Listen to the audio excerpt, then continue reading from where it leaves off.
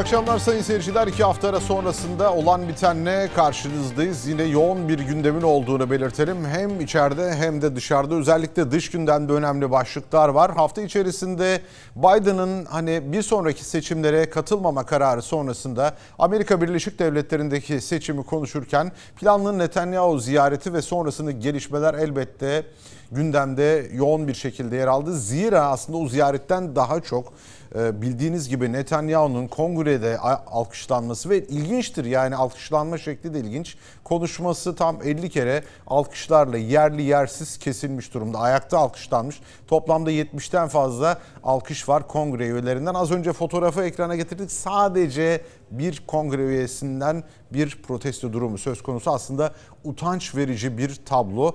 Benzer fotoğraflar tarihte aklımıza geldi. Nazi Almanyası'nın lideri Hitler'i anımsattı bugünler ve ilginçtir bir yalandan da büyük bir yalandan da bahsetti Netanyahu. Hiç sivil öldürmediklerini söyledi. Tüm dünyanın gözlerinin içine bakarak bu büyük yalanı söylemeye devam ediyorlar. Bu konuyu konuşacağız. Elbette Orta Doğu'da da sıcak gelişmeler var. Hani süreç nereye evrilecek? Türkiye-Suriye ilişkileri, İsrail'in yaratmış olduğu o Heyla ile birlikte barış ihtimali var mı? Ve bir taraftan da hani hep 3. Dünya Savaşı meselesini konuşurken Çin'le Rusya'nın beraber atmış olduğu devriye ki o devriye bildiğiniz gibi hani Amerika Birleşik Devletleri'ne sınıra yakın noktada Alaska civarında gerçekleşmişti. Bugün konuşulan konulardan önemli konulardan birisi aslında biraz Amerika Birleşik Devletleri'ndeki o seçim meselesi Kamala Harris'in adaylığı meselesi bu sıcak başlıklarla birlikte biraz geride kaldı ama veriler de gelmeye başladı. Harris hızlıca toparlanıyor diyebiliriz. Biden'la Trump'ın o televizyondaki düellosu sonrasında fark 6 puandı. Kamala Harris o puanı 1'e indirdi. Farkı 1'e indirdi. Bu konuyu da konuşacağız.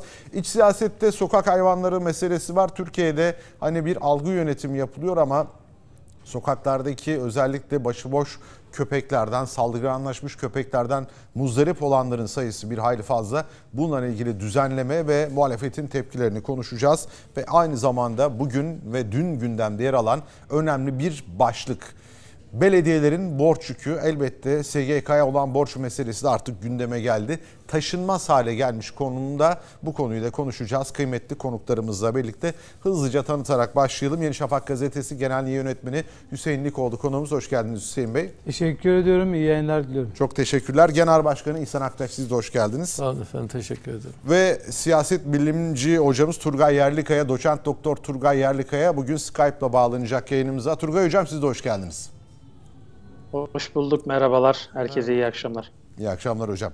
Şimdi Hüseyin Bey sizinle başlayalım. Bu mesele yani yaşadığımız gündemde yazın nispeten bu hafta sakin giderken bir büyük tepki toplayan bir görüntü ortaya çıktı. Amerika Birleşik Devletleri'nde kongrede aslında daha önceden de İhsan Bey'in işaret etmiş olduğu bir durum vardı. Kongre üyelerinin, senatörlerin nasıl finanse edildiği meselesi ve oradaki alkış tufanına baktığımızda şunu söylemeden edemeyeceğiz iyi para veriyorlarmış. Sadece e, satış ve para olsa e, önemli değil. E, insanlıklarını da satmışlar, vicdanlarını da satmışlar. İnsanlığı da satmışlar. Yani e, söylenebilecek e, ne varsa söylenebilir ama yaşananları ifade etmeye kelimeler yeter mi? Hı hı. Ondan emin değilim.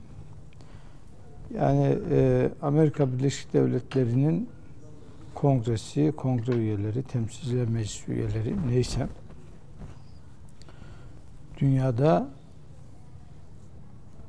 eşi emsali olmayan bir katliamın yaşandığı ve bu katliamın canlı yayınlarla herkesin gördüğü, şahit olduğu ve Uluslararası Adalet Divanı'nın soykırımla ilgili yargılamasını sürdürdüğü, Uluslararası Ceza Mahkemesi Başsavcısının bu soykırımın başı olan Netanyahu'nun e, tutuklama istemi ortada olduğu bir dönemde Birleşmiş Milletler'in Genel Sekreteri başta olmak üzere Birleşmiş Milletler'in diğer kurumları bu bir bunun bir katliam olduğunu, bunun bir vahşet olduğunu, e, insanlığın kaldıramayacağı bir husus olduğunu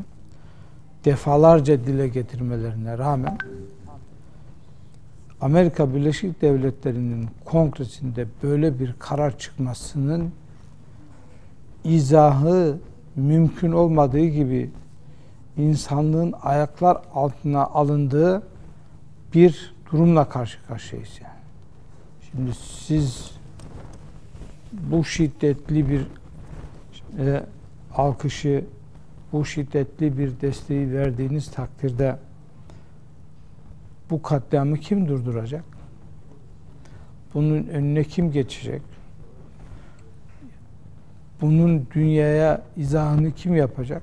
Açıkçası yani bugün Sayın Erdoğan'ın söylediği gibi yani Amerika Birleşik Devletleri büyük bir e, sorumluluğun ve büyük bir utanmazlığın içerisinde.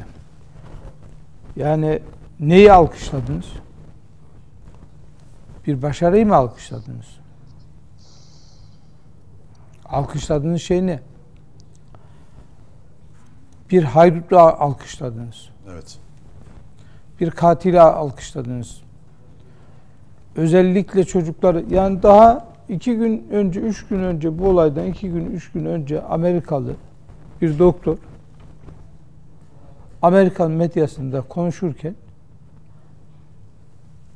Gazze'de görev yaptığı dönemde önüne gelen vakalardan yola çıkarak şunu söyledi. İsrail çocukları bile isteye hedef alıyor. Katlediyor evet. Katlediyor. Amerikalı doktor söyledi bunu. Hamas'ın söylemedi. Filistinli söylemedi. Amerikalı doktor Gazze'de görev yaptığı dönemde önüne gelen yaralamalardan ya da ölümlerden ya da işte İsrail saldırısının neticesinde önüne gelen durumdan dedi ki bir e, keskin nişancı bir çocuğu iki kez hedef almaz. Evet. Bir çocuğu, bir keskin nişancı bir çocuğu iki kez hedef almaz. Hadi bir kere kazayla oldu da bir iki kez hedef almaz. Dolayısıyla İsrail çocukları kasıtlı, maksatlı, bilerek, isteyerek öldürüyor dedi. Ve bunu Amerikalı doktor Amerikan basınına söylüyor. Şimdi neyi alkışladınız? Amerikan kurumlarına ve Amerikan vatandaşlarına hakaret eden, aşağılayan adamı alkışladınız. Geldi size dedi ki sizin üniversitelerde beni protesto ediyorlar dedi. Bu protesto edenler bilmem nedir dedi. Siz de onu alkışladınız. Evet. Yani bu yani bunun ya bu bunun parayla satın alın, alınmayla izah edilecek bir şey değil yani işte be, benim e, benim seçilmem için bana Yahudi lobileri çok e, bağışta bulundu. Onun için seçildim. E, dolayısıyla ben de ne yapayım bu bağış karşılığında bu bu bu bununla bile izah edileme, edilemez yani. Bunun izahı mümkün değil. Daha vahimi İhsan abi her zaman söylüyor. Sizin dininize, peygamberinize, Mesihinize hakaret etti. Yine yine alkışladınız. Amerikan Kongresi'nde yani akıl tutulmasının dışında anlaşılmaz bir şey yaşanıyor. Anlaşılmaz bir şey oluyor. Peki. Ve her bir alkışınız her bir alkışınız ölen her bir çocuğun ölümüne sorumluluğunuzun e, nişanesi olarak tarihe geçecek yani. Ve Amerika Birleşik Devletleri'nin sözde temsil ettiği bütün değerleri ayaklar altına aldınız. Bunu ne için yaptınız? Bunu nasıl izah edecekler? Tarih bunu nasıl yazacak çok merak ediyorum. Evet. Şimdi bir taraftan da İhsan Bey baktığımızda kongredeki durum ortada. Yani büyük bir utanç tablosu ve bugün çok ilginçtir bir fotoğraf da ortaya çıktı. Hitler nasıl karşılanmışsa benzer bir kare fotoğraf arkasında sırıtan insanlar Hitler döneminde Netanyahu'nun oraya ziyaretinde de aynı durum söz konusu. Şimdi içerideki durum bu. Utanç verici bir tablo ama dışarıda artık mızrak çuvala sığmıyor. Amerika'nın birçok noktasında protestolar vardı ve Amerika'nın hani o büyük yalan karşısında inanmayan bir kitle olduğu da ortada. Her ne kadar uyuyan bir toplum olduğu şeklinde bir hani in, inanış ve en azından bir doğru olsa da büyük bir tepki de söz konusu. Nasıl değerlendirirsiniz içeriğiyle dışarı arasındaki bu büyük farklılığı? Yönetilebilir bir durum değil herhalde Amerika Birleşik Devletleri açısından. Ya öncelikle baktığınız zaman insanlık açısından e, olağanüstü korkunç bir tablo. Evet. E, neden insanlık açısından korkunç bir tablo? Mesela İsrail parlamentosunda Netanyahu katil konuşsa soykırımcı adam kendi parlamenterleri alkışlasa ki İsrail parlamentosunda muhtemelen e, alkışlayacaklar kişi par- parlamentonun yarısıdır. Yani tamamı Evet. değildir. Bunun katil olduğuna inanan var, soykırımcı olduğuna inanan var. Kendi hırsızlıklarını örtmek için bu işi yaptığına, iktidarından o kadar hani farklı bir şey var ki fakat Amerika Birleşik Devletleri'ne e, geçtiğiniz zaman ben iki şeyi sürekli mukayese ediyorum. Orta Çağ'da Hristiyanlık, papalık ve Engizisyon din üzerinden bir tahakküm kurmuştu. Ve bütün insanlığı din üzerinden esir almıştı. Yani özellikle kıta Avrupa'sını esir almıştı ve e, insanların işte mahkemeleri orada görülüyor. İşte tabii bir tane çok ilginç örnek var. Bir adam e, başka bir memlekete gitmiş. Hanımı demiş ki ya kocam çok zamandır gelmedi. Engizisyon toplamış karar vermiş. İşte adam geri döndüğünde demişler ki kocan öldü geçmiş olsun artık günlük hayatına bakabilirsin. Kısa bir zaman sonra kocası dönüp geliyor. Engizisyon ona diyor ki ya biz Tanrı ile konuşuyoruz diyor. Kocan ölmüştü. Sırf bizi yanıltmak için, yani milletin gözünden Hristiyanlığı düşürmek için bu adam şeytan kılığına girdi geldi. Bunu yakarak öldürelim. Baktığınız zaman çok böyle salak saçma. Batı'nın da kurtulduğu bir dönem bu. Yani Engizisyon'dan. Fakat geldiğimizde Orta Çağ'da Engizisyon'un yerini geldi, Siyonizm aldı. Teker teker teker bütün bu insanları kuşattı. Başka devletlerde de bu kuşatma var.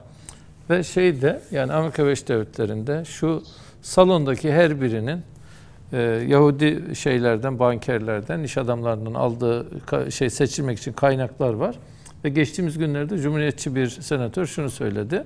Kongre üyesi dedi ki galiba dedi meclis şeyde kongrede dedi ilerleme raporu hakkında tutulmayan tek kişi benim çünkü ben onlardan destek almadım. Yani bir kongre üyesini seçiyorlar aynı zamanda da ilerleme raporu tutuyorlar. Yani Hüseyin Bey ne kadar çalıştı, ne kadar çalışmadı, e, verdiğimiz paranın karşılığını ortaya koydum. Bu çok korkunç bir durum. Yani şuradaki e, alkışlayan herkes biliyor ki eğer o denklemde olmazsa bir dahaki dönem seçilmeyecek. Geçtiğimiz günlerde Hares'te bir şey yayınlandı, makale yayınlandı.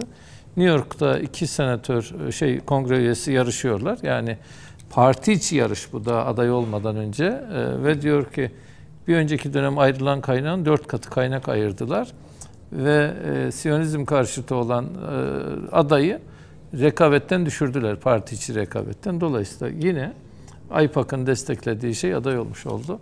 E, Şu açıdan e, biraz böyle insanla olağanüstü moral bozukluğu oluştu.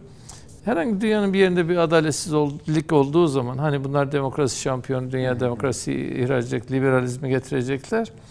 E, mazlum milletler döner bir bakarlar. Acaba ABD ne dedi? Birleşmiş Milletler ne dedi?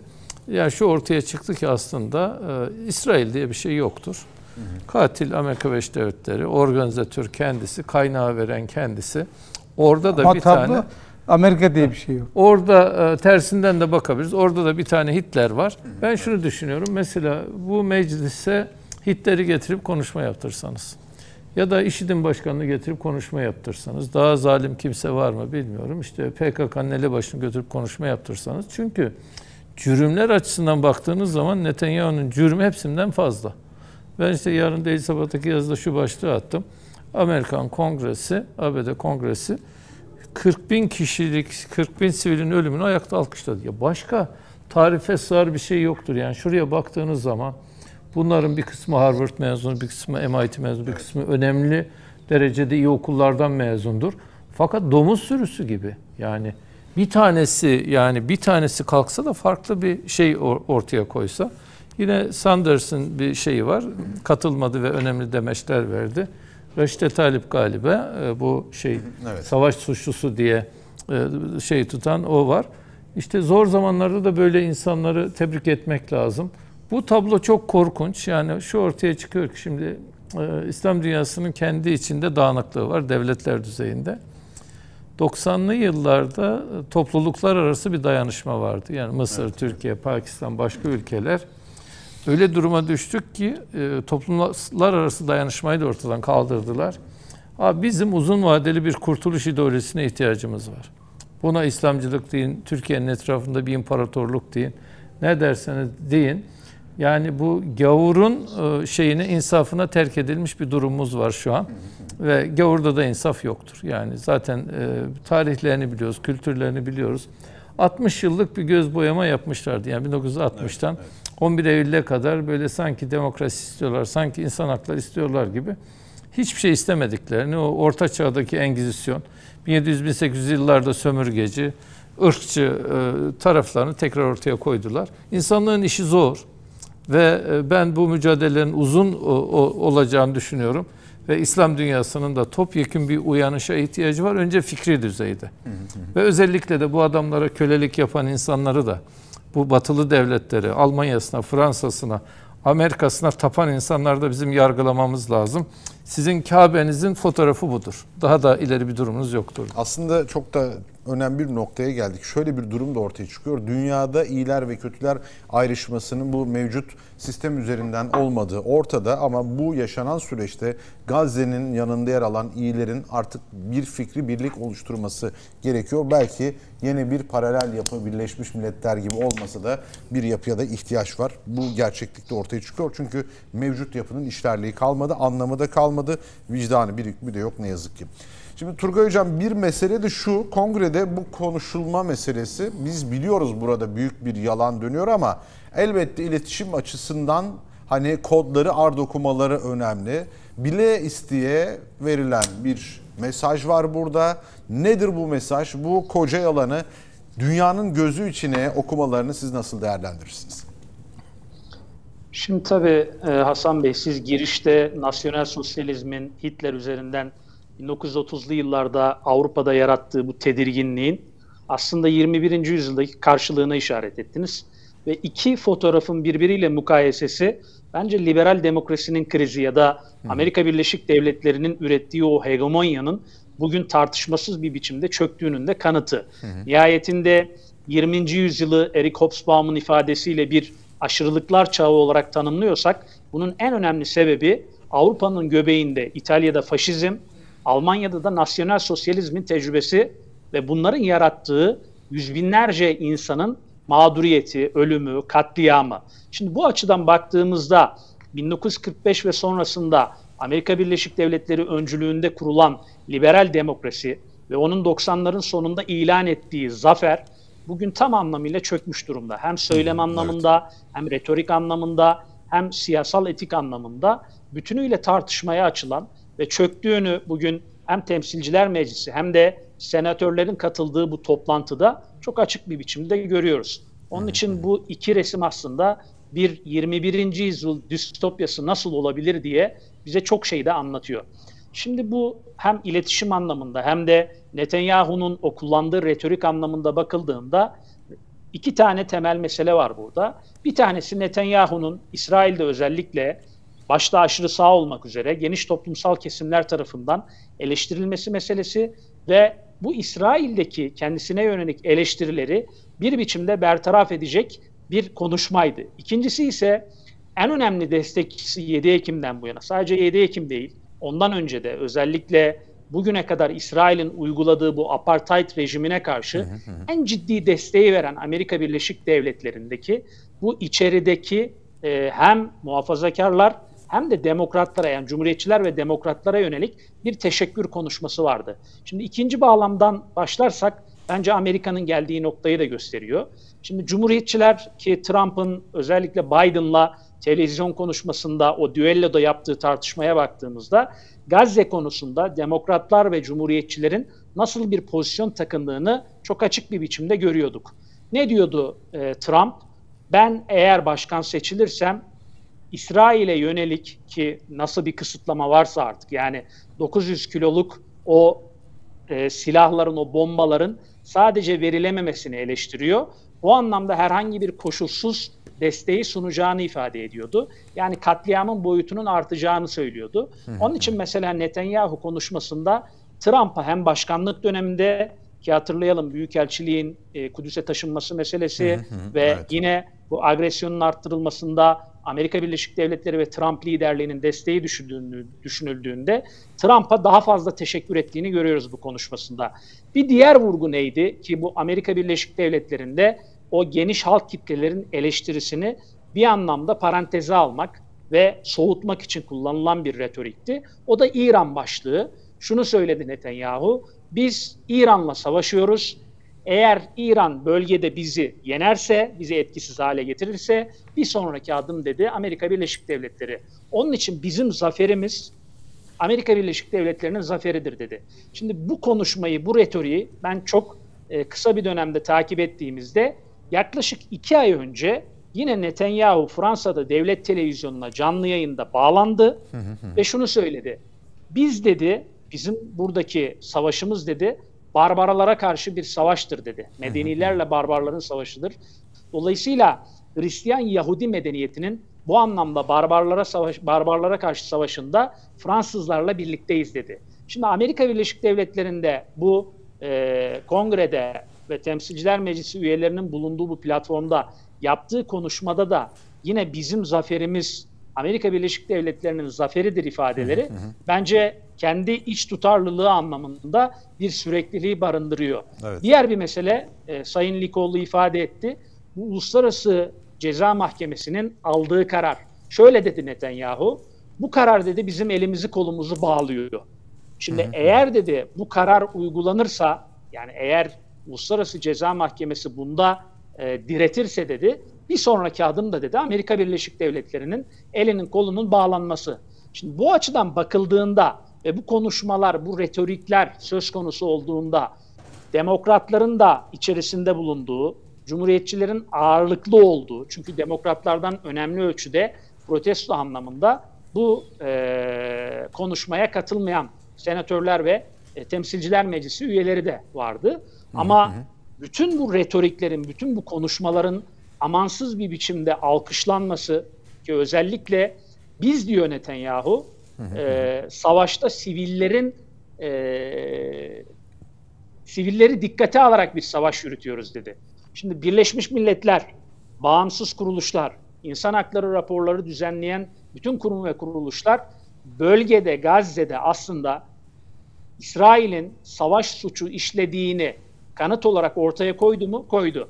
Peki Netanyahu neden bunu ifade ediyor? Çünkü kendisine koşulsuz bir biçimde destek veren Amerika Birleşik Devletleri var.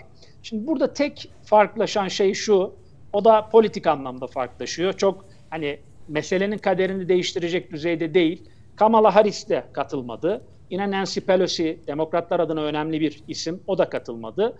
Belli rezervleri var. O da demokratların e, özellikle seçmen popülasyonu düşündüğünde daha çok yabancılar, işte siyahiler, Müslümanlardan müteşekkil olması, onların da bir biçimde eleştirilerini dikkate alması ile ilişkili. Yoksa Biden'ın aslında 7 Ekim'den bu yana İsrail'e desteğine baktığımızda yine koşulsuz desteğin varlığına işaret eden birçok parametreyi çok açık bir biçimde gördük, Evet. tanık olduk. Şimdi geldiğimiz noktada bütün dünyanın gözü önünde bunca yalanı söyleyebilme e, motivasyonu nereden geliyor diye bakarsak bunu rasyoneliteyle izah etmek çok da mümkün değil.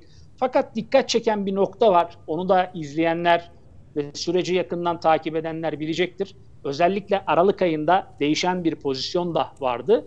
Elon Musk. Şimdi Elon Musk bu toplantıda niye var mesela? Hatırlayalım. Elon Musk 7 Ekim sonrasında İsrail'e yönelik eleştirilerin X platformunda yer almasını bir tür demokratik özgürlük olarak yorumladı. Fakat öyle bir baskı yedi ki sonrasında o baskıyı kaldıramadı. Bölgeye, İsrail'e yani Hamas'ın e, operasyon yaptığı yere götürüldü ve birçok mizansene, birçok kurguya orada eşlik ettirildi. Şimdi Elon Musk buraya, burası çok önemli. Benjamin Netanyahu'nun özel davetlisi olarak katıldı. Ve bugün gelinen noktada Netanyahu'nun oradaki söylemlerini e, işte Silikon Vadisi'nin en önemli isimlerinden biri olan bir kişi olarak Musk orada alkışladı. Yani bu sadece siyasetle sınırlı bir şey değil. Ama e, umuyoruz ki Amerika'da özellikle bu konuşmanın yapıldığı esnada ve dünyada muhtelif yerlerde geniş halk kitlelerinin protestosu bu siyasi elitlerin davranış kodlarını değiştirecek düzeye ulaşabilir. Bu tabii çok kısa orta vadede mümkün bir şey değil ama gelecekte bunun e, gerçekleşmesini umuyoruz. E bu kara bir leke olarak zaten bugünden itibaren tarihe geçti. Yani 20. yüzyılla işte aşırılıklar çağıyla Hobsbawm'ın ifadesiyle 21. yüzyılda Amerika Birleşik Devletleri'nin önemli bir mekanında bu konuşmanın yapılıyor olması bence bir distopya, bir siyasi distopya nasıl resmedilebilirin çok açık bir görüntüsüydü bana göre. Peki, peki teşekkürler. Şimdi Süleyman Bey bir taraftan baktığımızda da hani süreç işlerken evet bu utanç tablosuna şahit olduk ve tarihe yaşananlar bir kara sayfa olarak geçti. Unutulmayacak. Hani siyah beyaz fotoğraftaki o Nazi Almanyası'nın lideri Hitler'in o hali ileride bugün Netanyahu'nun haliyle birebir karşılaştırılacak dediğimiz gibi kara sayfa olarak yer aldı. Ama bir taraftan da konuşmaya baktığımızda hani yine şu aralar konuşulan konulardan birisi acaba bir ateşkes olabilir mi meselesi. Dolayısıyla burada Netanyahu'nun verdiği mesajlar ve hani biraz daha bölgede savaşın yayılması yönünde attığı adımlara bakacak olursak sizce süreç nereye evrilecek? E, ateşkes e, ihtimali sürekli Netanyahu hükümeti tarafından e, İsrail ordusunun bazı e, kesimleri, bazı kanatları istemesine rağmen e, sabote edildiğini görüyoruz. E, ve e, bunun bir sebebi de Netanyahu hükümetinin koalisyon ortakları. Yani kimlerle koalisyon ortağı şimdi? Şimdi bakın, e, bizzati Amerika Birleşik Devletleri tarafından e, yaptırıma tabi tutulan işte sözde yerleşimci durumu söz konusu ve bu sözde yerleşimciler yani orada olmaması gereken Siyonist Yahudiler oraya gitmişler. işgal etmişler. Filistinleri yerinden yurdundan etmişler. Sayıları o kadar çoğalmış ki bir de işte o e, Netanyahu'nun ortağı olan e, işte e, aşırıcı ya da işte ne derseniz deyin partilerin de oy deposu haline gelmişler yani. Şimdi Netanyahu niye bir çıkmaza? Çünkü o sözde yerleşimcilerin oylarıyla e, mecliste sayısal üstünlüğü tamamlaması için bir milletvekili sayısı elde etmiş. Garabet bir durumla karşı karşıya. Yani normal şartlarda e, seçime girmemesi gereken, seçime girmemeyi geçtim, orada olmaması gereken, Filistin'de olmaması gereken insanlar dünyanın muhtelif yerlerinden toplanıp Filistin'e götürülmüşler. Bir de onlara seçme hakkı verilmiş ve onlar da işte o canileri seçiyor. İsrail parlamentosu onların seçimiyle e, oluşuyor. Böyle bir yapının yani uluslararası hukuk çerçevesinde bir ateşkesi müzakere etmesi mümkün değil. Bizzati Netanyahu'nun kendisi de zaten e, bir hukuk çerçevesinde bir ateşkesi müzakere etme insanlığına sahip değil yani. Çünkü işgalci. Orayı temizlemek istiyor. Bak Gazze'nin yüzde 83'ünü çatışmalı alan ilan etmiş. 2 milyon insan yaşıyor. Zaten dar bir alan ve yüzde 83'ünü çatışmalı alanlar. Geriye kalan yüzde 13'ünü de sığınıldığı zaman bombalanan yer. Gazze'nin yüzde yüzünü bilerek, isteyerek işte Amerikalı doktorun dediği gibi çocuklar hedef alınarak katliam yapılıyor. Evet. Şimdi e, bunun amacı ne? Etnik bir temizlik. Herkesi öldürmek istiyor. Herkesi öldürmek istiyor. Her canlı. Her canlıyı öldürmek istiyor. Sadece insanı değil. Şimdi böyle bir istek içerisinde ve bunu sapkın bir inançla yapıyor. Yani öldürdüğü her bir Gazze'li çocuk için, bebek için sevap kazandığını düşünen bir sapkın inançla bunu yapıyor. Şimdi buradan ateşkes çıkar mı? Peki. Mümkün değil. Ateşkes çıkmaz. Ee, peki e, ne olacak? Ancak ve ancak zarar göreceğini, kendisinin de öleceğini, malının elinden gideceğini, devleti devlet diye ilan ettiği, e, işgal ederek ilan ettiği toprakların da kendisi elinden gideceğini anlarsa, kanaat getirirse bir ateşkes olabilir. Onun için e, İsrail'in kaybedeceğini, yenileneceğini, malını kaybedeceğini, parasını kaybedeceğini hissettirecek çabalara ihtiyaç var. Bu başarıldığı takdirde İsrail ateşkese razı olur. Yoksa e, kaybedeceğini düşünmediği zaman, kaybetmeye başlamadığı zaman İsrail'i ateşkese ikna edecek hiçbir güç yok. Zaten Amerika Birleşik Devletleri'ndeki utanç tablosunu gördük. Peki. Şimdi İhsan Bey baktığımız zaman hani aslında bu konuyla ilgili ve Orta Doğu coğrafyasındaki bu kaotik durumdan faydalanan bir İsrail var. Bu konuya ilişkin eklemek istedikleriniz varsa almak isterim ama bir taraftan da yanı başımızda Suriye'de devam eden bir iç savaş durumu. Türkiye'ye ilişkilerin bir an önce normalleşmesini istiyor. Çünkü biliyoruz ki Suriye'deki bu kaotik durumun devam etmesi aslında İsrail'in işine de yarıyor ve Türkiye bunu gördüğü için bir an önce süreci hızlandırmış durumda ve Suriye tarafından da olumlu açıklamalar geldi. Ve normalleşme ışığında Putin'le Esed'in görüşmesi de önemli.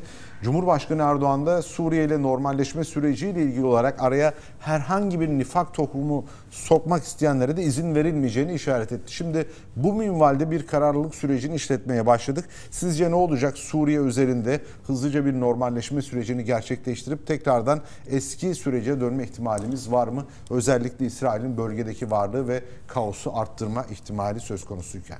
Ya aslında özünde baktığınız zaman İsrail'in işgalciliğiyle işte Lübnan'ın perişan olması ya da Irak'ın yerle yeksan olması, Suriye'de iç savaş çıkıp Suriye'nin paramparça olması birbiriyle o kadar ilintili ki e, rahmetli Necmettin Erbakan hocamız işte Amerika Birleşik Devletleri'ni Siyonistlerin yönettiğini, kimsenin iradesinin olmadığını gerek e, işte yönetim tekeliyle gerek teknoloji tekeliyle ya da finans tekeliyle aslında bu ABD'deki bütün yönetimin iplerinin İsrail'in elinde olduğuna dair bir beyanatta bulunduğu zaman biz de şöyle bakardık ya burada bir küçük devlet işte o zaman 6-7 milyondu.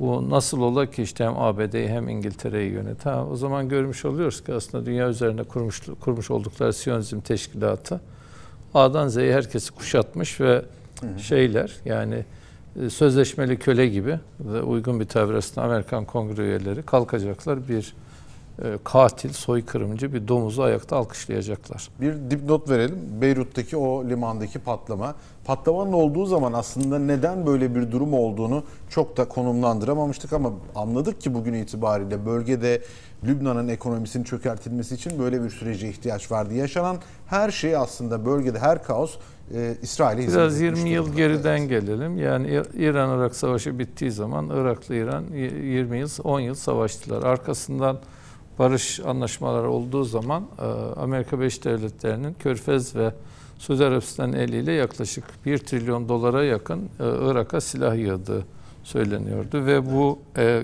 Saddam'ın elindeki bu güç tehlike. Niye, niye karşı? Yani Türkiye ya da komşularına İran'a karşı değil. Nihayetinde Saddam bir yönüyle de İsrail karşıtı bir tutumu vardı. Herhangi bir Müslüman ülkenin elinde bu kadar bir ordu potansiyelinin olması ABD'nin iş- işine, işine gelmiyor. Yani risk olarak görüyorlardı. Bir, işte Kuveyt'e saldırtarak Saddam'ı e, işte İran'da ABD geldi işgal etti. İran'da kaosa sürükledi. Ki çok şükür şu an Türkiye adım adım Suriye ile de irtibatlandıracağım onu. Irak'ın istikrarı için önemli çaba sarf ediyor. Diğer taraftan aslında sadece Suriye'yi değil yani Lübnan'daki askeri varlığıyla İsrail'in iki yakasında Suriye devlet olarak yani hem Suriye'de güçlü bir devlet vardı ve e, dünyadaki galiba en İsrail karşıtı devletti. Su- Şey Suriye. Diğer taraftan her ne kadar bu Hariri'nin öldürülmesiyle beraber askeri varlığını büyük oranda e, şey Suriye çekti oradan çünkü büyük tehditle karşı karşıyaydı. Şimdi bugün gelinen noktaya bakalım. İran hani yani devrimden bu tarafa kendi pozisyonu var. Lübnan neredeyse devlet e, iradesi kalmamış. İşte Hizbullah'ın bir gücü var orada. Suriye ayakta durmaya mecali kalmamış. Irak yıkılmış.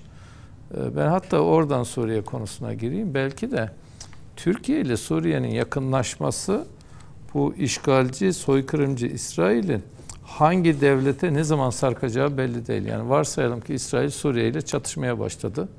E neredeyse önünde bir engel yok ki 10 yıldır savaşan bir ülke var orada. Ha, belki Rusya'nın varlığında İran'la direkt cephede savaşmaktan çekinebilir. Ondan dolayı şu an Suriye'ye e, işgal ya da saldırı söz konusu değil ama e, Müslümanlar birbirini harap ettikten sonra, ABD gelip burayı işgal ettikten sonra, DAEŞ'i, PKK sonrayı hamura çevirdikten sonra İsrail Suriye ile çatışacak olsa Suriye'nin mecali yoktur. Belki de bu şeyin hani belki bu kenarda bir yorum gibi duruyor ama Türkiye ile Suriye'nin e, ilişkilerinin normalleşme eğilimine girmesinde İsrail işgalciliğinin etkisi vardır. Suriye meselesine gelelim. Ya Ben Suriye ile alakalı sabit bir görüşüm var. Bu hiç değişmedi. E, Türkiye'nin bugünkü diplomasi yetkinliği, Türkiye'ninki bugünkü basireti, Erdoğan'ın gelişmiş dünya liderliği formasyonu 15 yıl önce, 13 yıl önce olmuş olsaydı e, Suriye'de biz Türkiye Suriye'nin bütünlüğünü muhafaza ederek ABD'ye rağmen, İran'a rağmen o devletin bütünlüğünü muhafaza ederek Türkiye'nin kontrolünde bir e, otoriter, şey, otokrat bir devlet yani kendi kendini yöneten bir devlet imkanını elde tutabilirdik. Bu geçmiş bir şey olmadı bu. Bugün gelinen noktada şimdi içeride aktörler var. Bir, İran devlet olarak Suriye'nin içerisinde. İki, Rusya aynı İran gibi Suriye devletinin davet ettiği kendisiyle beraber çalışan bir devlet olarak ki şu an en güçlü aktör Rusya Suriye içerisinde. İran eski kadar güçlü değil. İki Amerika Birleşik Devletleri büyük oranda PKK'nın eliyle ve e, az bir kısmı da DAEŞ'in eliyle kontrol ettiği bir kara parçası var ki işgalci ABD orada. Diğer taraftan Ş- Haçlı Şabi, HTŞ dedikleri gruplar var İd- İdlib bölgesinde. Bir de işte Laskiye'den şeye kadar, Şam'a kadar e, devletin kontrol ettiği bir bölge var. Şimdi burada e, 10 yılda ortalama bu hasar oluştu Suriye'de. Ben öyle zannediyorum ki bugüne, bugünden itibaren e, karar verildiğinde Türkiye-Suriye ilişkilerinin yumuşama başladığı zaman önümüzdeki 10 yılda bir üniter devlet e, yapısı Suriye'de oluşur diye düşünüyorum. Şimdi şey ne yani karşı karşıya olduğumuz sorun ne? Ben hep bunu bekliyordum acaba ne zaman Suriye'de ABD'nin varlığı sorun haline gelecek. Evet. Size dikkat edin müzakerelere, uluslararası tartışmalara. Türkiye'nin Suriye'deki varlığı ABD'nin varlığından daha çok gündem oldu. Belki de hani en azından güç yetirebilir miyiz diye baktıklarından dolayı. Şimdi bir Rusya e, şeyin toprak bütünlüğünü istiyor. Yani üniter devlet yapısına kavuşmasını istiyor. İran'ın e, İran bunu istiyor ama mümkün mertebe Türkiye'nin eliyle olmasın diye bir şey içerisindedir ama ben Suriye konusunda da Irak konusunda da İran'ın artık çaresiz olduğunu düşünüyorum. Muhtemelen bu iki devletin istikrarını işine gelmese de İran'da istemeye başladığı gibi düşünüyorum. Şimdi biraz şey yapalım. Türkiye'nin askeri e, etkisinden başlayalım. Şimdi Pençe Kilit Harekatı galiba bu toplumda ne çok tartışıldı ne de çok gündem oldu. İki devlet düşünün. Suriye'de PKK terör örgütü var, Irak'ta PKK terör örgütü var ve birbirine olağanüstü geçişliği var. Bence e, Savunma Bakanlığı, Türkiye Cumhuriyeti Devleti büyük bir yetkinlikle Pençe Kilit Harekatı'nı başlattı ve bugün eğer Irak'ta kalkınma yolunun da etkisiyle istikrar konuşuyorsak bu harekatın bunda etkisi çok büyük. Zaten Türkiye Bu arada 20 yine yıldır bir dipnot Irak'la ilgili. Ee, Şimdi bir ortak harekat merkezi kurulacak ve Irak yetkili makamları devlet olarak artık PKK'yı yasaklı örgüt olarak e, addedecek. Bu da oldukça önemli bir aşama. İlk kez oluyor. Evet, ilk kez oluyor ve kalkınma yoluyla ilgili de ortak imzalar atıldı. Ee, Büyük oranda Türkiye'nin eliyle yürütülecek bir proje. Altyapıdan tren setlerine kadar her şey için Türkiye hazır. Yani müteahhitlik anlamında bugün başlansa hemen hızlıca bitecek bir proje olacak. Ya ayrıca e, Birleşik Arap Emirlikleri başta olmak üzere kalkınma yolunun uluslararası destekleri de var. O dünya jeopolitiğiyle ve ticaret yollarıyla da ilgili bir durum. O e, adım adım Irak'ta bir istikrar e, yolu açıldı duruyor. Bence Suriye, e, nihayet Arap devletleri, Arap kültürü Suriye'de bundan etkilendi. Bir de ayrıca bir şey daha oldu. Şimdi e, Amerika ile Suriye Türkiye'de karşı karşıya geldiği zaman ABD eliyle kurulmuş bütün ilişkilerimiz bi- bizim bozuldu. Suudi Arabistan'la, Birleşik Arap Emirlikleri'yle, Mısır'la, diğer ülkelerle hatta ABD'nin terör örgütleriyle de aramız bozuldu. DAEŞ'la, FETÖ'yle ve PKK'yla. ABD eliyle kurulan bütün ilişkiler bozulduktan sonra Türkiye kendi gücünü ortaya koydu. Kendi gücüyle kendi diplomasisini tahkim etti. Şimdi e, Rusya savaş zamanı hep şunu söylüyorlardı. Yani Rus şeyde e, sahada en rasyonel ülke konuşulabilir ülke Rusya. Ne ABD ne İran ne başkası. Şimdi Esad'la Putin'in görüşmesi önemliydi. Burada belki iç politikaya yansımaları şöyle olabilir. Efendim bu görüşme olacak mı? Ne kadar şey gidecek oraya mülteci? Efendim Türkiye asker çekecek mi falan ya bun- bunlar bugünden itibaren çok sert konular. Yani böyle masada e, şey gibi böyle bir cam e, ka- kavanoz gibi birbirine çatıştırılması gereken konular değil. Ama bir devlet ilahi nihayet devletler arası savaş olmuyor. Yani savaş böyle sürekli olan bir şey değildir. Zaten savaşlar normalde hatların, sınırların çekilmesi için yapılır. Ben öyle zannediyorum ki Rusya, Türkiye, e, Suriye'nin başa baş yürüteceği bir şeyde bütün o olumsuz şartları bildiğimiz halde Suriye'nin istikrar için önemli bir adımdır. Yani şunu da biliyoruz. Suriye'de çok Türkiye'ye karşı caka satacak durumda değil. Türkiye hem kendi e, is- istikrar adasını güçlendirmek için hem de kendi ticaretini, diplomasisini, devlet o, o bölgesel güç etkinliğini artırmak için bizim bölge ülkeleriyle barış halinde olmaktan öte çıkarımız yoktur. Ve Türkiye'de hem kendi çıkarı hem de komşuların çıkarı konusunda devam ediyor. Bir de galiba dost düşman Tayyip Erdoğan'ın sağduyusu hakkında olumlu bir kanaate sahip. Biz biliyoruz ki Tayyip Erdoğan'ın önüne doğru bilgi, doğru belge, doğru bilgilendirme geldikten sonra o kıldan ince, kılıçtan keskin en ince ayarı bulup yola devam ediyor. Şimdi 2010'lu yılları düşünün. ABD ile sahte bir ortaklığımız var. Ordu dediğiniz ordu sizin değil. İstihbarat dediğiniz ne kadar sizin olduğu belli değil. Memur dediğiniz sizin değil. O iki devlet arasında yürütülen ilişkilerde. Hadi istihbaratın bir kısmı bizim elimizde olduğumuzu varsayalım. E bir de dışişleri şeyimiz var ki yani Enver Paşa'nın daha uçuk kaçığı da bir Dışişleri Bakanımız var. E, o günkü kötü günlerdi Türkiye için ama bugün Türkiye özellikle dış politika ve diplomasi alanında olağanüstü mahir.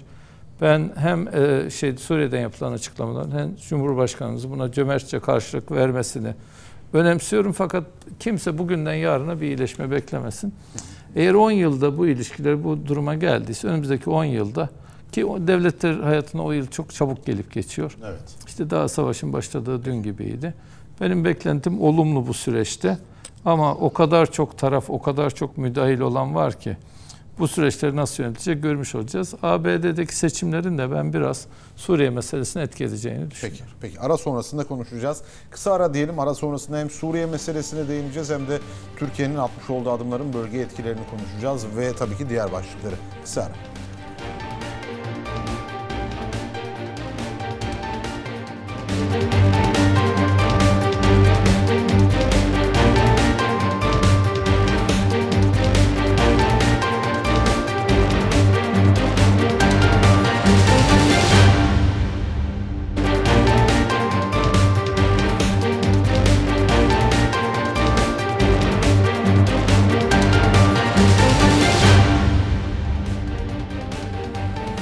Ara sonrasında devam ediyoruz. Hani Suriye'yi konuşurken elbette İsrail'in varlığını da değerlendirdik ve hani İsrail'in bölgede yaymış olduğu ateşin nereye gideceği konusu merak ediliyor elbette.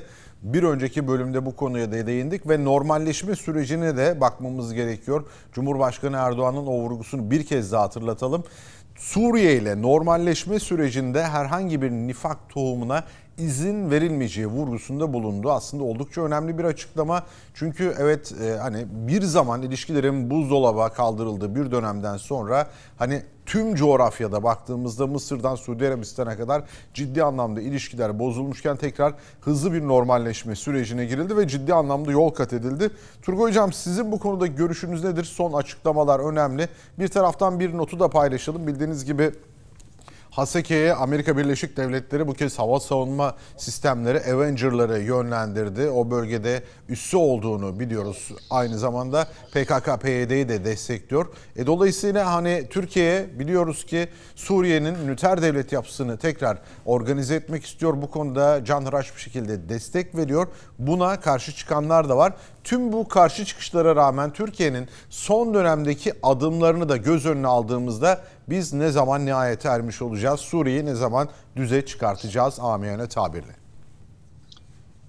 Şimdi tabii özellikle Türkiye-Suriye normalleşmesi beklentileri açısından bakıldığında birden çok parametre var.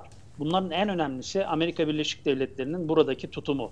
Şimdi Amerika Birleşik Devletleri uzunca bir süredir aslında Türkiye'nin ulusal güvenlik tehdidi olarak gördüğü PKK'nın türevi olan YPG, PYD'ye burada hem lojistik anlamda hem medikal anlamda hem finansal anlamda hem de silah anlamında çok ciddi bir destek veriyor.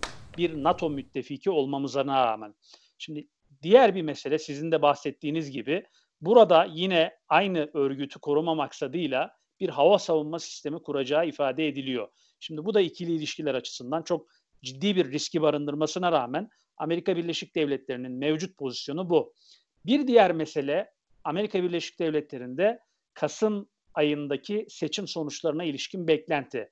Şimdi Trump seçilirse e, malumunuz ki e, birçok konuşmasında ifade ediyor. Hem Rusya-Ukrayna savaşındaki Amerika Birleşik Devletleri'nin müdahil olma pozisyonu hem de Suriye'ye ilişkin ya da ulus aşırı müdahalelerinde bu fiziksel varlık ve finansal anlamda desteği geri çekeceğine yönelik çok net ifadeler var.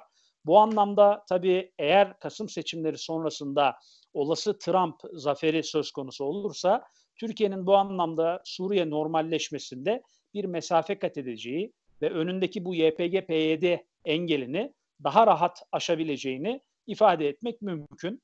Diğer yandan baktığımızda aslında Rusya'nın buradaki rolüne çok olumlu bir e, rolü olduğu ifade ediliyor. Özellikle e, Suriye-Türkiye normalleşmesinde iki aktörün yani Cumhurbaşkanı Erdoğan ve e, Esed'in görüşme trafiğine girmesi beklentisinin e, Rusya tarafından, Rusya'nın arabuluculuğu üzerinden gerçekleşeceğine dair ya da Rusya'nın bu süreci kolaylaştıracağına dair Irak'ın da içerisinde olduğu bir kompozisyonda bir e, beklenti söz konusu. Bu anlamda bakıldığında e, son dönemde özellikle burada e, Türkiye'nin lehine bir pozisyon olduğu ortada Amerika Birleşik Devletleri'ni saymazsak. Şimdi diğer yandan özellikle normalleşmeyi bir anlamda orta uzun vadeye yaymamızı gerektirecek hususlardan bir tanesi de hatırlayalım 2010'dan bu yana özellikle 2015 ve sonrasında iç savaşın şiddetiyle muhalif grupların Esed'e karşı takındığı tavır ve Türkiye'nin muhalif gruplarla birlikteki seyri ve bugün normalleşmeye dönük onların tedirginlikleri ve e, beklentileri bunların da yönetilmesi elbette burada bir önemli parametre olarak karşımıza çıkıyor. Tabii şimdi burada özellikle normalleşme ile birlikte az önce Irak bahsedildiği için ben de üzerinden geçmek isterim. Yani gerçekten Pençe Kilit operasyonu ile ilgili çok kamuoyunda tartışılmıyor ama Sayın Cumhurbaşkanımızın o çok spot cümlesinde ifade ettiği kilidi kapatacağız meselesi bu yoğun trafikte, yoğun askeri operasyonlarda Irak'ta muazzam bir başarı sergilendiğini gösteriyor. Ki Irak'ta özellikle e, PKK teröristlerinin güneye doğru bir yani Irak devletini tehdit edebilecek bir düzeyde kaçışının söz konusu olduğunu, dolayısıyla bu da İran'ın kendi bir güvenlik meselesi haline dönüştüğünü ve bu güvenlik meselesini aslında Türkiye Cumhuriyeti devletiyle birlikte koordine olarak sadece kalkınma yolu üzerinden değil, güvenlik operasyonları anlamında, güvenlik tehditleri anlamında da ortak tehdit algısı üzerinden yönetebileceği bir düzleme erişti.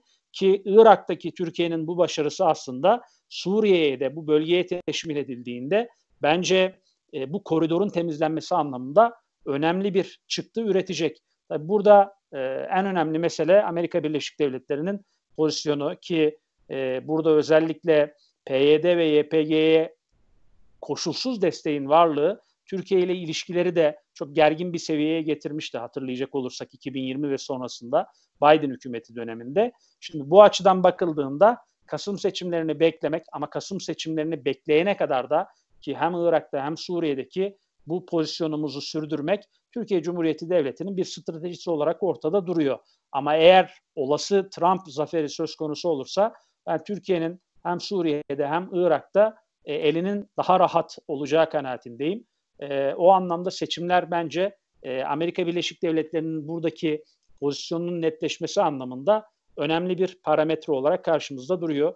E, Türkiye-Rusya ilişkileri açısından bakıldığında da Rusya'nın buradaki sıcak tavrı, özellikle Türkiye-Suriye normalleşmesine yönelik katkıları, arabulucu rolü bence ikili ilişkilerin rehabilite edilmesinde e, ciddi bir mesafe kat edecektir. Kat edilmesine vesile olacaktır. Ama tabii bu e, İhsan abinin de söylediği gibi çok kısa vadede bir beklenti olarak ortaya çıktığında e, politik anlamda da bir tutarsızlığı içerisinde barındırıyor.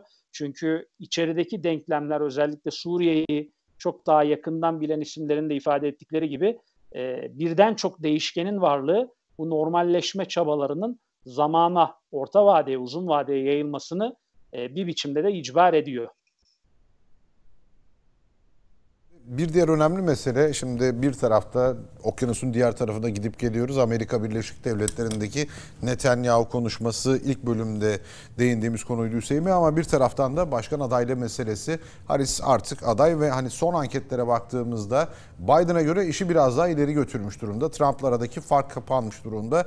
Hani Biraz da Trump'a düzenlenen suikast girişimi sonrasında olayın biraz daha Trump lehine döndüğü konuşuluyordu. Ama 24 saat siyaset için oldukça uzun bir süre ve dolayısıyla hani durum eşitlenmiş gibi görünüyor ve hala siklet olarak seçimlerde varlık gösterecek konumda yer alacak Kamala Harris. Siz nasıl değerlendirirsiniz bu seçim sürecinde özellikle bizim açımızdan önemli olan Orta Doğu politikaları? Biden'ın yaptıklarını gördük ve aslında ateşkes talebini ifade etmişti Kamala Harris bu İsrail'in saldırıları noktasında savaşın sürmesini istemediğini dile getirmişti. Sizin yorumunuz ne olur? Şayet Kamala Harris seçilirse Orta Doğu coğrafyası ve Türkiye ilişkileri anlamında Biden'ın söylemleri pek de Türkiye lehine değildi onu biliyoruz. Tabii biz e, Amerika'da yaşamadığımız için e, Amerikan halkının, seçmeninin e, tercihini ölçme konusunda e, yani çok e, sağlam kriterlere sahip değiliz. E, biz Amerika'ya aslında biraz küresel siyaset gözüyle bakıyoruz. Evet. Yani Biden döneminde Amerika küresel anlamda bir güç kaybetti. Amerika Birleşik Devletleri'nin işte dış politika veya işte e, dünya meselelerine bakış, yaklaşım, sorunların çözme vesaire açısından baktığımız zaman e, Biden yönetiminin e, başarısız olduğunu söyleyebiliriz. Yani bundan dolayı da e, Biden'ın Biden yönetiminin seçimi kaybedeceğini düşünüyor. E, ve e, işte Trump'ın işte önceki başkanlık dönemi işte e, Biden'a karşı çıkışı dolayısıyla da Trump'ın seçimi kazanabileceğini düşünüyor. Birincisi tabii e, bu e, çok dışarıdan bir bakış açısı. Amerika Birleşik Devletleri'nin içeride ne yaşadığını, işte pandemi dönemiydi, Amerika'da ilk kez enflasyon çok yüksek oranlara çıktı. Amerika'da Amerikan tarihinde görülmemiş enflasyon. Farklı şeyler yani aslında e, Amerika çok küresel bir devlet ama Amerikan halkının eyaletlerde yaşayan insanların böyle e, Amerika gibi böyle çok küresel e, düşünmediklerine ilişkin hani Amerika'da yaşayan bilen e, insanların e, paylaştığı bilgiler de olsun da onlar e, Amerika Orta Doğu'da ne yaptı diye bakmazlar yani işte. Evet kesinlikle. E, e, biraz daha içeriye bakarlar. Bunun nasıl yansıyacağını bilmiyoruz.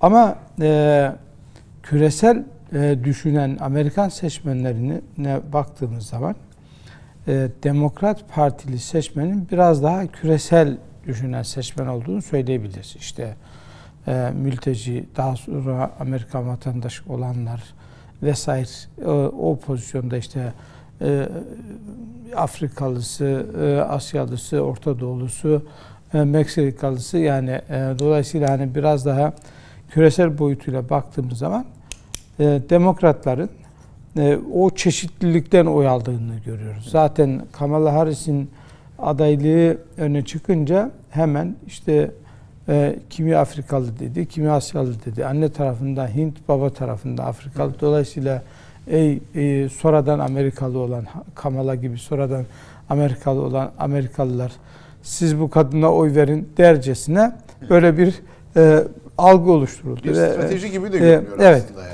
ve e, bu e, önümüzdeki e, seçim kampanyasında bunu çok daha fazla göreceğiz. Şimdi açıkçası bizim Amerika'da e, ikamet eden yazarımız e, Kadir Üstün geçtiğimiz günlerde Türkiye'deydi. Henüz Biden e, çekilmemişti. Çok ilginç bir şey söyledi. Dedi ki e, Trump'ın suikaste maruz kalması görünürde oylarını, görünürlüğünü arttırsa da e, bir yani sessiz, kendi kendine e, yaşayan bir Amerikan kesiminde şöyle bir şeye yol açabilir. Ya işte Trump'ı daha adayken öldürmek istediler. Başkan olduğu zaman da öldürebilirler. Dolayısıyla her an öldürülme potansiyeli olan birini başkan yapmayalım diyebilir. Hani Evet. istikrar isteyen, huzur isteyen, iç kavga istemeyen e, Amerikalılarda böyle bir e, yaklaşım ortaya çıkmaya başladı dedi. Yani her an öldürülmek istenen bir başkan adayımız var. Bir başkanınız var. Bir sabah uyanmışsınız ki başkanınız ölmüş. E, dolayısıyla hani o e, suikastın lehinde olduğu kadar aleyhinde de e, kullanılabileceği ya da işte aleyhinde de etki olabileceğine ilişkin bir değerlendirme. Ben o değerlendirmeyi çok önemsedim ve e, Biden'ın çekilmesi, Kamala Harris'in adaylığı e, öne çıkınca dediğiniz gibi hemen e, oyların kafa kafaya gelmesinde bunun etkisi var. E, ama şunu aşikar görüyoruz ki maalesef e, ama demokratlar ama cumhuriyetçiler hepsi Yahudi sever. Zaten o utanç tablosundaki milletvekilleri e, hem e, Demokrat Partiliydi hem Cumhuriyet e, Partiliydi. E, işte Demokrat Partili bir, bir prote- protesto eden bir milletvekili vardı. O Demokrat Partili. Katılmayan, demin İhsan abi söylediği gibi e, e, katılmayanlar da Demokrat Partili. Dolayısıyla hani e, ehvenişer gibi bir durum söz konusu mu? E, yani açıkçası onu onu söylemek bile çok mümkün değil ama şu söylenebilir. Netanyahu Trump'ı istiyor. Ve e, seçime kadar ateşkes istememesinin sebebi Amerika'daki hükümet değişikliği, başkan değişikliği e, beklentisinden kaynaklandığını ve Trump geldiği zaman da e, hemen müdahale etmeyeceği e, ve e, işte Siyonistleri daha fazla destekleyeceğine ilişkin bir görüntü var. E, Kamala Harris'in işte malum e, dün Netanyahu ile görüştü.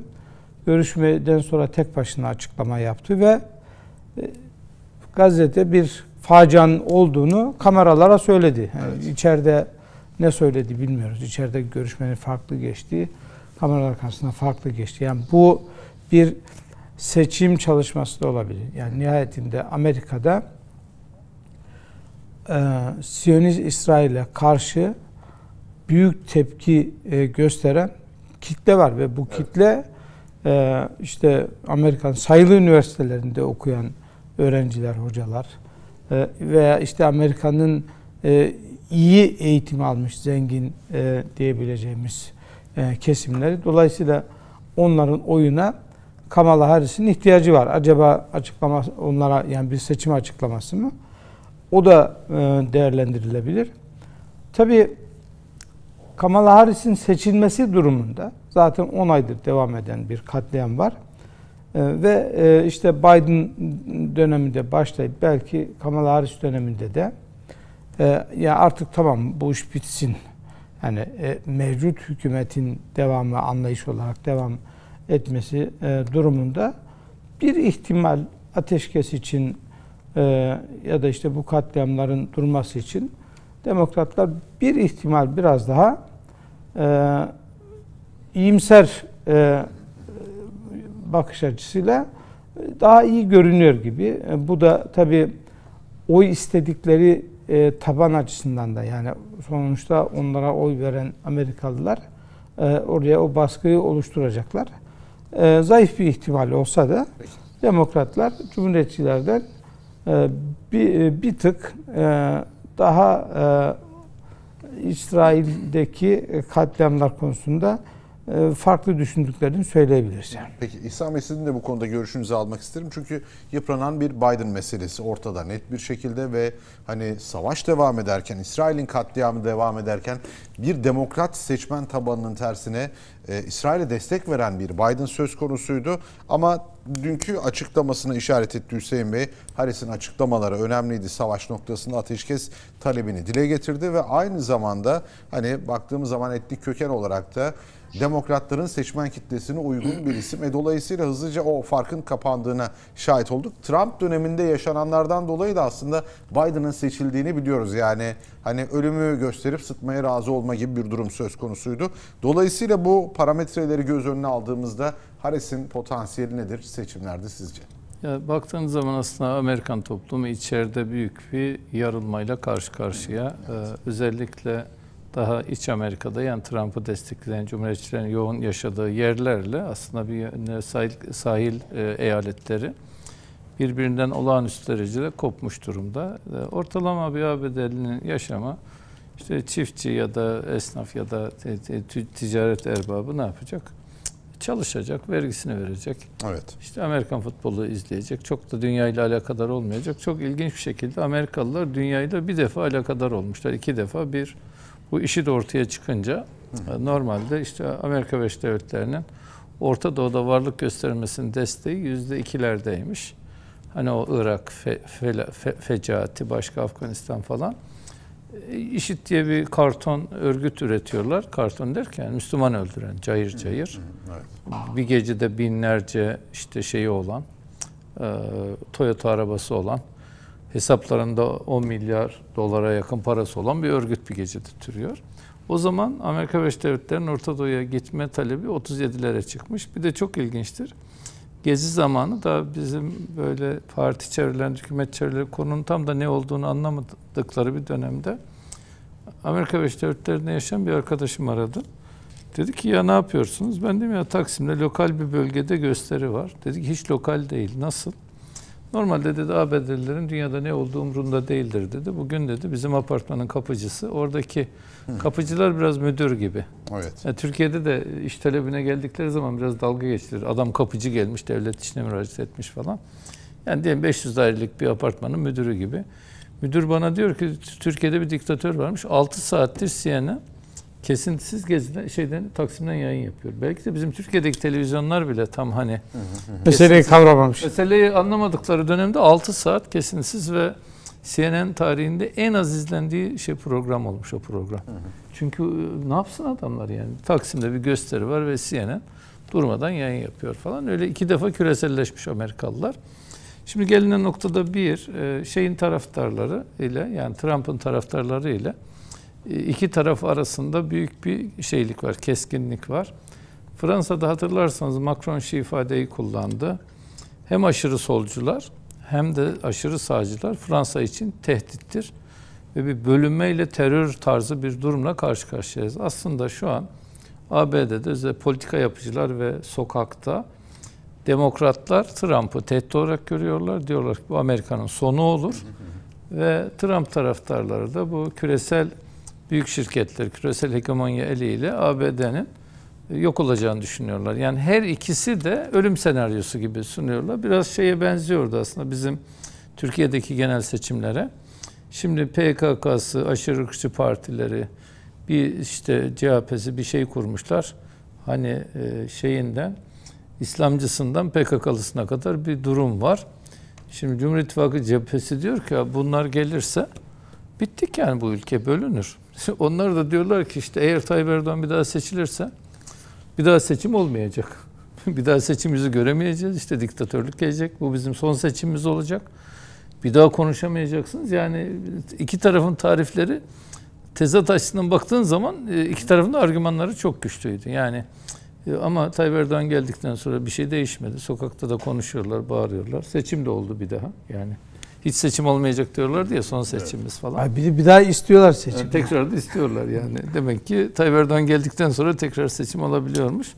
E, geçtiğimiz günlerde şey olduğunda bu e, Trump'a suikast girişimi olduğunda e, Amerika Birleşik Devletleri'nde hem politika içeriden takip eden hem de e, başkanlığa danışmanlık yapan firmalarla çalışan Bülent Yavuz şu ifadeyi kullandı. Eğer Trump öldürülseydi Amerika'da kan gövdeyi götürürdü ve taraflar o kadar gergin, o kadar mesafeli ki kimin kimi vurduğu da belli olmazdı ve bu kontrol altına da alınamazdı diyor. Ya büyük bir felaketten döndü ABD. Mesela bu taraflı yorumu kimse yapmamıştı. Şimdi bize gelince bir e, normalde baktığınız zaman işte e, şeyin Trump'ın Rusya ile yakın çalışması, Çin'in baskılanması, Ukrayna savaşının sonlandırılması, Orta Doğu'dan asker çekmek gibi Türkiye lehine oluşacak bazı adımlar var. Gazze açısından baktığınız zaman da ya bir felaketi öbür felaketle çarpacağız. Yani şeyle demokratlar bugüne kadar bir varlık ortaya koyamadılar. Trump Gazze için daha büyük bir tehdit. Bu işi bitirin diyor. Ya bitirin ne demek biliyor musun? 50 bin kişi 100 bin kişiye çıkarın.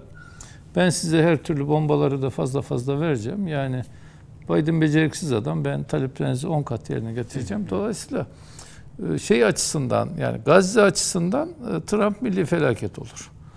Ha oradaki Müslümanlar da öyle bir durumla karşı karşıyalar ki işte daha çok protestoları yapanlar da Demokrat Parti'nin Evet, şey taraftarları. Müslümanlar, A- Afro Amerikalılar işte diğer göçmenler falan. Diğer taraftan da ya da İrlandalılar da katalım. Şimdi bu kadar protestoya, bu kadar kendi tabanlarından eleştiri gelmesine rağmen bir iyileşme olmadı. Öteki adam gelince ne olur? Milli felaket ama en azından Trump'ın şu tarafta söyleyeyim. Şimdi Rusya ile e, şeyin e, ABD'nin yakınlaşması ya da Ukrayna savaşının bitmesi bizim lehimize. Evet. Çin'le ABD gerilimi de bizim lehimize. Neden bizim lehimize? Biz üretim yapan, ihracat yapan, mal satan bir ülkeyiz. Çin'in işte 20 saatlik, 25 saatlik mesafeden taşıdığı ürünleri biz 3-4 saatlik mesafede taşıyoruz. Bir bakıma Çin'le Amerika gerilimi bizim bu üretim seferberliği, sanayimizin güçlenmesi, ihracatımızın güçlenmesi açısından da bizim lehimize bir durum. Onlar e, şey konusunda inan şaşkınım. Ben artık uzun vadede şunu görüyorum. Müslüman devletlerin, vicdanlı ülkelerin bir hülfül fudul dayanışması içerisine girmesi lazım. Bence sadece Gazze'yi korumak için değil, ABD e, kongresindeki bu tablo bütün insanlık için bu e, şey bu haydut devletlerin artık te- tehlikeli olmaya başladığını görüyoruz. Yeni bir Dünyada- sisteme ihtiyaç var. Dünyada bir çok kutuplu e, dünyaya geçiş gibi yani Çin'in ve Rusya'nın bir talebi var. Yani tek kutuplu dünyayı sonlandırmak gibi. Türkiye'nin bir bölgesel güç olma iddiası var ve bugüne kadar şu ana kadar diyalog halinde olduğu ya da birlikte çalıştığı bütün ülkelerin istikrarı için çalışıyor. Bence Türkiye'nin pozisyonunu artık istikrarlaştırıcı güç olarak da bundan sonra tanımlayabiliriz.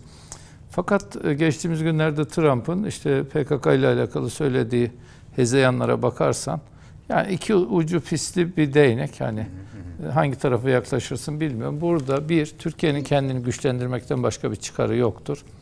Biz muhtemelen Körfez ülkeleri gibi ya da başka ülkeleri gibi ya ağzımızı açıp da sabah ABD'de ne olacak diye duaya kalkmayalım. El birliğiyle bu vatanı güçlendirmenin, kalkınmanın, büyümenin yoluna bakalım. Belki de Türkiye'nin derin sorunu ne şu an? E, Tayyip Erdoğan vizyonuyla siyaset e, vizyonu arasındaki siyaset tembelliği arasındaki uçurum iletişiminden siyaset üretimine kadar derinleşiyor ve Tayyip Erdoğan e, vizyonu neredeyse e, kendi siyasileri tarafından anlaşılmaz bir evreye girdi. Bunun üzerine de tartışmak lazım. Bu ülke daha çok siyaset üretecek, daha çok çabalayacak. O Erdoğan'ın hayal ettiği Türkiye'yi ve Türkiye yüzyılını gerçekleştirmek için bir kolektif çabaya ihtiyaç var. E, Ben böyle Erdoğan'ın arkasındaki topal kazların biraz sopalanması gerektiğini düşünüyorum. Peki son vurgunuz oldukça önemli. Şimdi Turgay Hocam bu Harris'in adaylığı meselesine ilişkin söylemleriniz varsa almak isterim ama bir taraftan da şimdi zaman daraldığı için şu konuya ilişkin de soru sormak istiyorum. Yine bugüne ilişkin önemli bir gelişmeydi. Amerika Birleşik Devletleri'nden Pentagon'dan açıklama geldi. Çin ve Rusya'nın uçakları ki Alaska sınırına yakın noktada devri uçuşu yaptı. Stratejik önemde bilinen uçaklar ve bunlar ağır bombardıman uçakları devri uçuşu gerçekleştirdi. Pentagon'dan da tepki vardı. Şimdi tam da dünya siyasetini konuşurken, yaklaşan Amerikan seçimlerini konuşurken aslında okyanusun diğer tarafında Amerika'daki hani Batı yakasına baktığımızda Çin'le ilişkilerde gerilimli süreç varken Rusya-Çin ortaklaşması da gündeme geliyor. Nasıl değerlendirirsiniz bu süreç içerisinde bu son devriye meselesini? Oraya gelmeden tabii hem Trump hem de Kamala Harris Amerika Birleşik Devletleri'nde seçmen açısından ne anlam ifade ediyor ve bunun Türkiye açısından neye tekabül edeceği meselesi bizim e, önem verdiğimiz ve üzerine analiz yaptığımız konular. Şimdi tabii e, özellikle Amerika Birleşik Devletleri'nde bir siyasi suikast geleneği var. Özellikle dört başkanın öldürüldüğünü ve diğer başkanları da hesaba kattığımızda onun üzerinde başkanın silahlı suikaste muhatap olduğunu düşündüğümüzde bunun neredeyse bir siyasi gelenek haline geldiğini yani bir siyasetçiyi bertaraf etme metodu olarak kullanıldığını biliyoruz. Dolayısıyla Trump'a yönelik bu suikastin de önemli sonuçları oldu. Fakat Hocam Trump'a şu noktada kısa dışında- bir değerlendirme de yapmanızı isteyeceğim. Hangi sebepten dolayı mesela Trump hedefe konuldu? Kısaca sizin öngörünüzü almak isterim. Trump tabii ABD müesses nizamı açısından öngörülebilir bir siyasi figür değil. Yani hatırlayacak olursak Amerika Birleşik Devletleri'nin özellikle bu müesses nizamın Orta Doğu başta olmak üzere Latin Amerika'daki varlığı ve e, küresel olarak hesaplarına çok uymayan, mesela Rusya-Ukrayna savaşı meselesi, ortadaki varlığını sınırlandırma e, hesapları, bunlar Amerika Birleşik Devletleri'ndeki özellikle Pentagon başta olmak üzere müesses nizam dediğimiz o e, kurumsallaşmanın çok e, beklentileri içerisinde, çok stratejik öngörülebilirliği içerisinde bir siyasetçi figürüne karşılık gelmiyor. Onun için hatırlayacak olursak Amerika Birleşik Devletleri'nde başkanlık yaptığı dönemde bile yani 2016 ile 2020 arasında bile Trump'ın bu müesses nizamla çatıştığını biliyoruz. Hatta 2020 seçimlerinde aday olan ve Amerika Birleşik Devletleri'nin o dönemki başkanı sıfatıyla kampanyaya katılan Trump'ın yine bu sermayenin önemli e, güçleri olan Facebook ve Twitter gibi platformlar tarafından hesabının da askıya alındığını biliyoruz. Onun için Trump hem müesses nizam hem de sermaye açısından çok öngörülebilir bir si- siyasi figür değil. Belki suikastinin arkasında yatan sebepler içerisinde bu olabilir. Komple teorilerini dışarıda bırakırsak. Şimdi tabii hemen bunun akabinde Trump'ın Biden'a karşı seçimler öncesinde neredeyse puan farkını 6'ya çıkartması demokrat elitler içerisinde bir tedirginlik yarattı. Ve hatırlayalım sadece demokrat elitler değil, New York Times'ın editoryası Biden'a çekil yazısını yazdı. Yani bu çağrılara karşılık vermesi gerekiyordu Biden'ın. Bir anlamda bunlara boyun eğdi ve Kamala Harris'i işaret ederek bir anlamda demokrat elitlerinde desteklediği isim olarak Trump'ın karşısına konumlandırıldı. Şimdi Kamala Harris bu kongredeki konuşmaya Netanyahu'nun konuşmasına da atıf yaptığımızda orada yoktu özel bir programı nedeniyle. Fakat sonrasında ikili görüşmesi oldu. Yine demokratların uzunca bir süredir tekrarladığı, Biden'dan duyduğumuz o sivil kayıplar meselesi, İsrail'in bu savaşı sürdürmemesi gerektiği gibi çok böyle aslında muğlak ifadeler kullandı.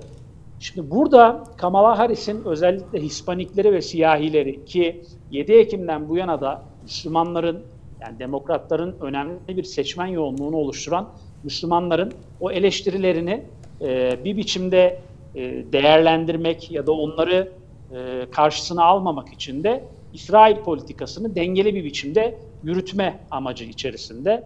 Fakat tabii burada bizim açımızdan baktığımızda Kamala Harris, Biden'ın yani 2020'den bu yana Amerika Birleşik Devletleri'ni yöneten e, başkanın yardımcısı ve o başkan henüz seçilmeden önce yine New York Times'ta yaptığı bir kapalı toplantıda Türkiye Cumhuriyeti Cumhurbaşkanı Erdoğan'a yönelik çok ağır ifadeler kullanmıştı ve seçilmesi durumunda Cumhurbaşkanı Erdoğan'ı muhalefetin de yardımıyla, desteğiyle devirme iddiasında bulunmuştu.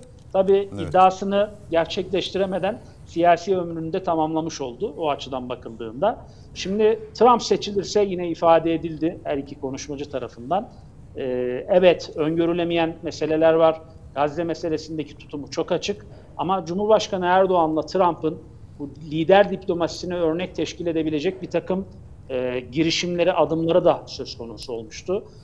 Ama aynı Trump'ın Türkiye'ye yönelik kur atakları da söz konusu olmuştu. Siyasi baskı amacı olarak. Bunları da düşündüğümüzde iki adaydan birinin Türkiye açısından m, tercih edilebilir olması noktasında yani herhalde bir ehvenişer e, kavramı burada da devreye giriyor. O açıdan Trump'ın e, bir anlamda bu öngörülemezliği işte Suriye'deki YP, PYD ve YPG'ye ilişkin tutumu diğer meselelerde Cumhurbaşkanı Erdoğan'la ki bu suikastten sonra bir telefon diyaloğu da söz konusu oldu. Bunları birlikte düşündüğümüzde e, bir ehvenişer tercih gibi görünüyor. Diğer taraftan sizin ifade ettiğiniz bu Çin meselesi bence Filistin özelinde de önemli.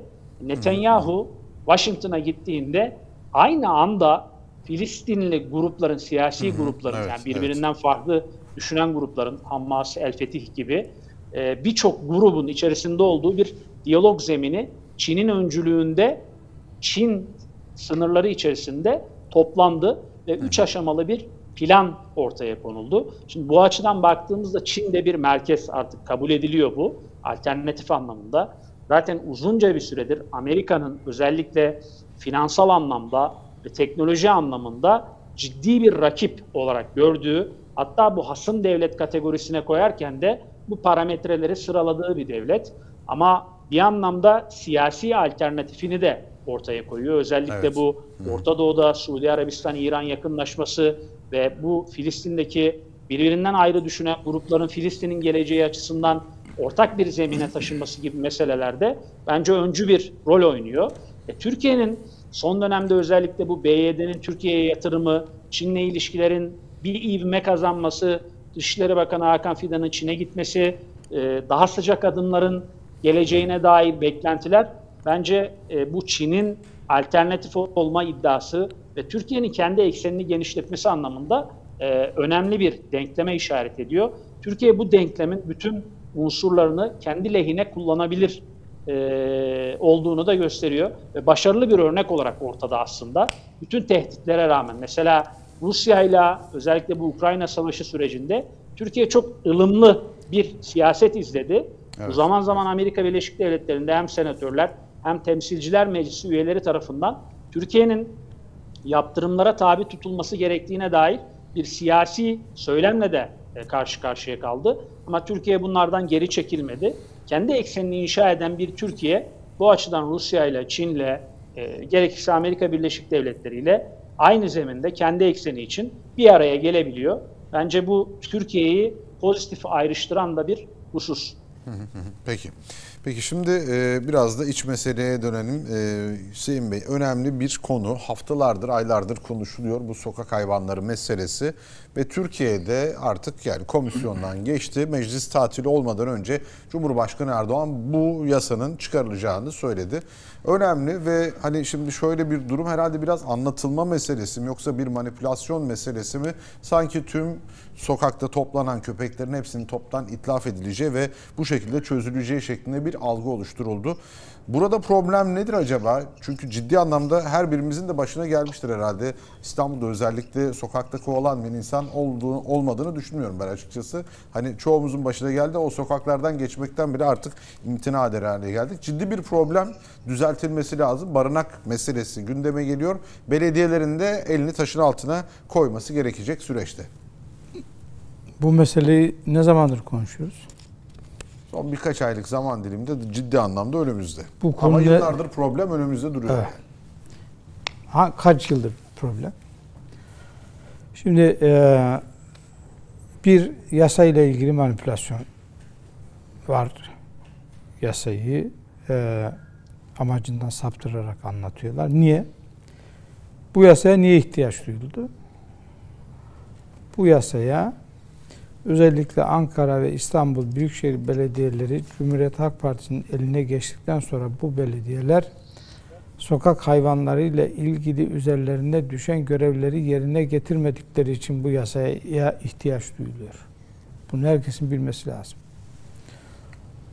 Aşılama yok, toplama yok, kısırlaştırma yok ve e, bundan dolayı e, sokaklarımızda e, sahipsiz, başıboş e, köpek popülasyonu arttı. Niye arttı? Çünkü görevini yapmadılar. Bu yasaya niye karşılar? Bu yasa onlara ve yerel yönetimlere görevlerini yapmaları hususunda yasal bir me- meşburiyet e, dayatıyor. Müeyyide diyor ki, müeyyide. Diyor ki toplayacaksın. Toplayacaksın, aşılayacaksın, e, kısırlaştıracaksın, sahiplendireceksin. Bunun için de barınak yapacaksın. Bunu yapmak istemiyorlar. Görevden kaçma. Şimdi e, sizin de söylediğiniz gibi bunun bir sorun olmadığını söyleyebilen kimse var mı? Kimse yok. Her geçen gün büyüyen bir sorun olduğunu herkes kabul ediyor mu? Ediyor. Şu anda sokaklarımızda yerel yönetimler, sorumlu yetkililer ye- görevini yapmadığı için sokaklarımızda aşısız ve kısırlaştırılmamış milyonlarca hayvan var. Ve bu hayvanlar kısırlaştırılmadığı için sayı artacak ve daha vahim, önüne geçilemez bir tabloyla karşılaşacağız. Efendim sokak köpeklerini öldüreceklermiş. Yo niye öldüreceklermiş ki? Ya da kim öldürecek mesela? Kim uyutacak mesela? Polis mi? Asker mi? Ee, kasap mı? Kimi öldürecek? Yasa polise köpeği öldürme yetkisi mi veriyor? Ya bu yasa e, çıktığı zaman e, vatandaş eline sopayı alan e, köpek öldürme hakkı mı doğuruyor? Yok. Bu yasa uyutma yetkisini kime veriyor? Veterinerlik kanununa atıfta bulunuyor. Diyor ki hastaysa, saldırgansa, kuduzsa, ıslah mümkün değilse hayvanın lehinde bir uyutma yani başka yayınlarda söyledim. Kedi sahibi olan bir idim. Kedim 13 yıllık kedim vardı. Hastalandı. Veteriner dedi ki Hüseyin Bey kedinin iyileşme ihtimali yok. Her geçen gün daha fazla acı çekecek. Yiyemeyecek. Ağrısı olacak. Bunu veteriner kanuna uygun bir şekilde uyutabiliriz. Sizin de rızanız varsa. Dolayısıyla bu kanun da aynı şekilde aynı yetkiyi yani uyutabilecek ya veteriner ya veteriner kontrolünde. Ve Yani o konuda yetkin olan birisi. o konuda yetkin olan birisi karar verecek.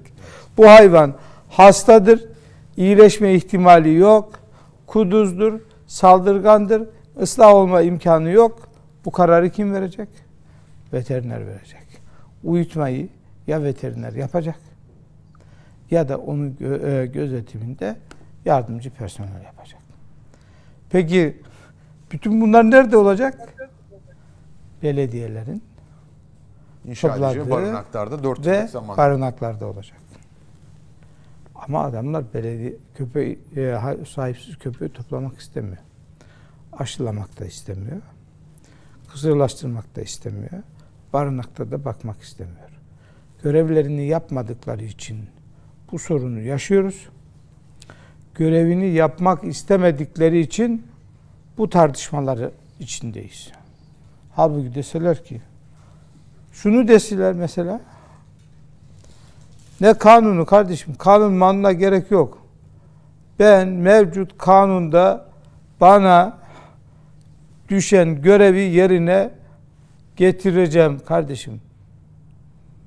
Şu an mesela kanun meclisten çıkmadan, yasallaşmadan hemen barınakları yapsalar, hayvanları toplasalar, aşılasalar, efendim e, kısırlaştırsalar hiç kanuna gerek yok. İş yapmak istemiyorlar.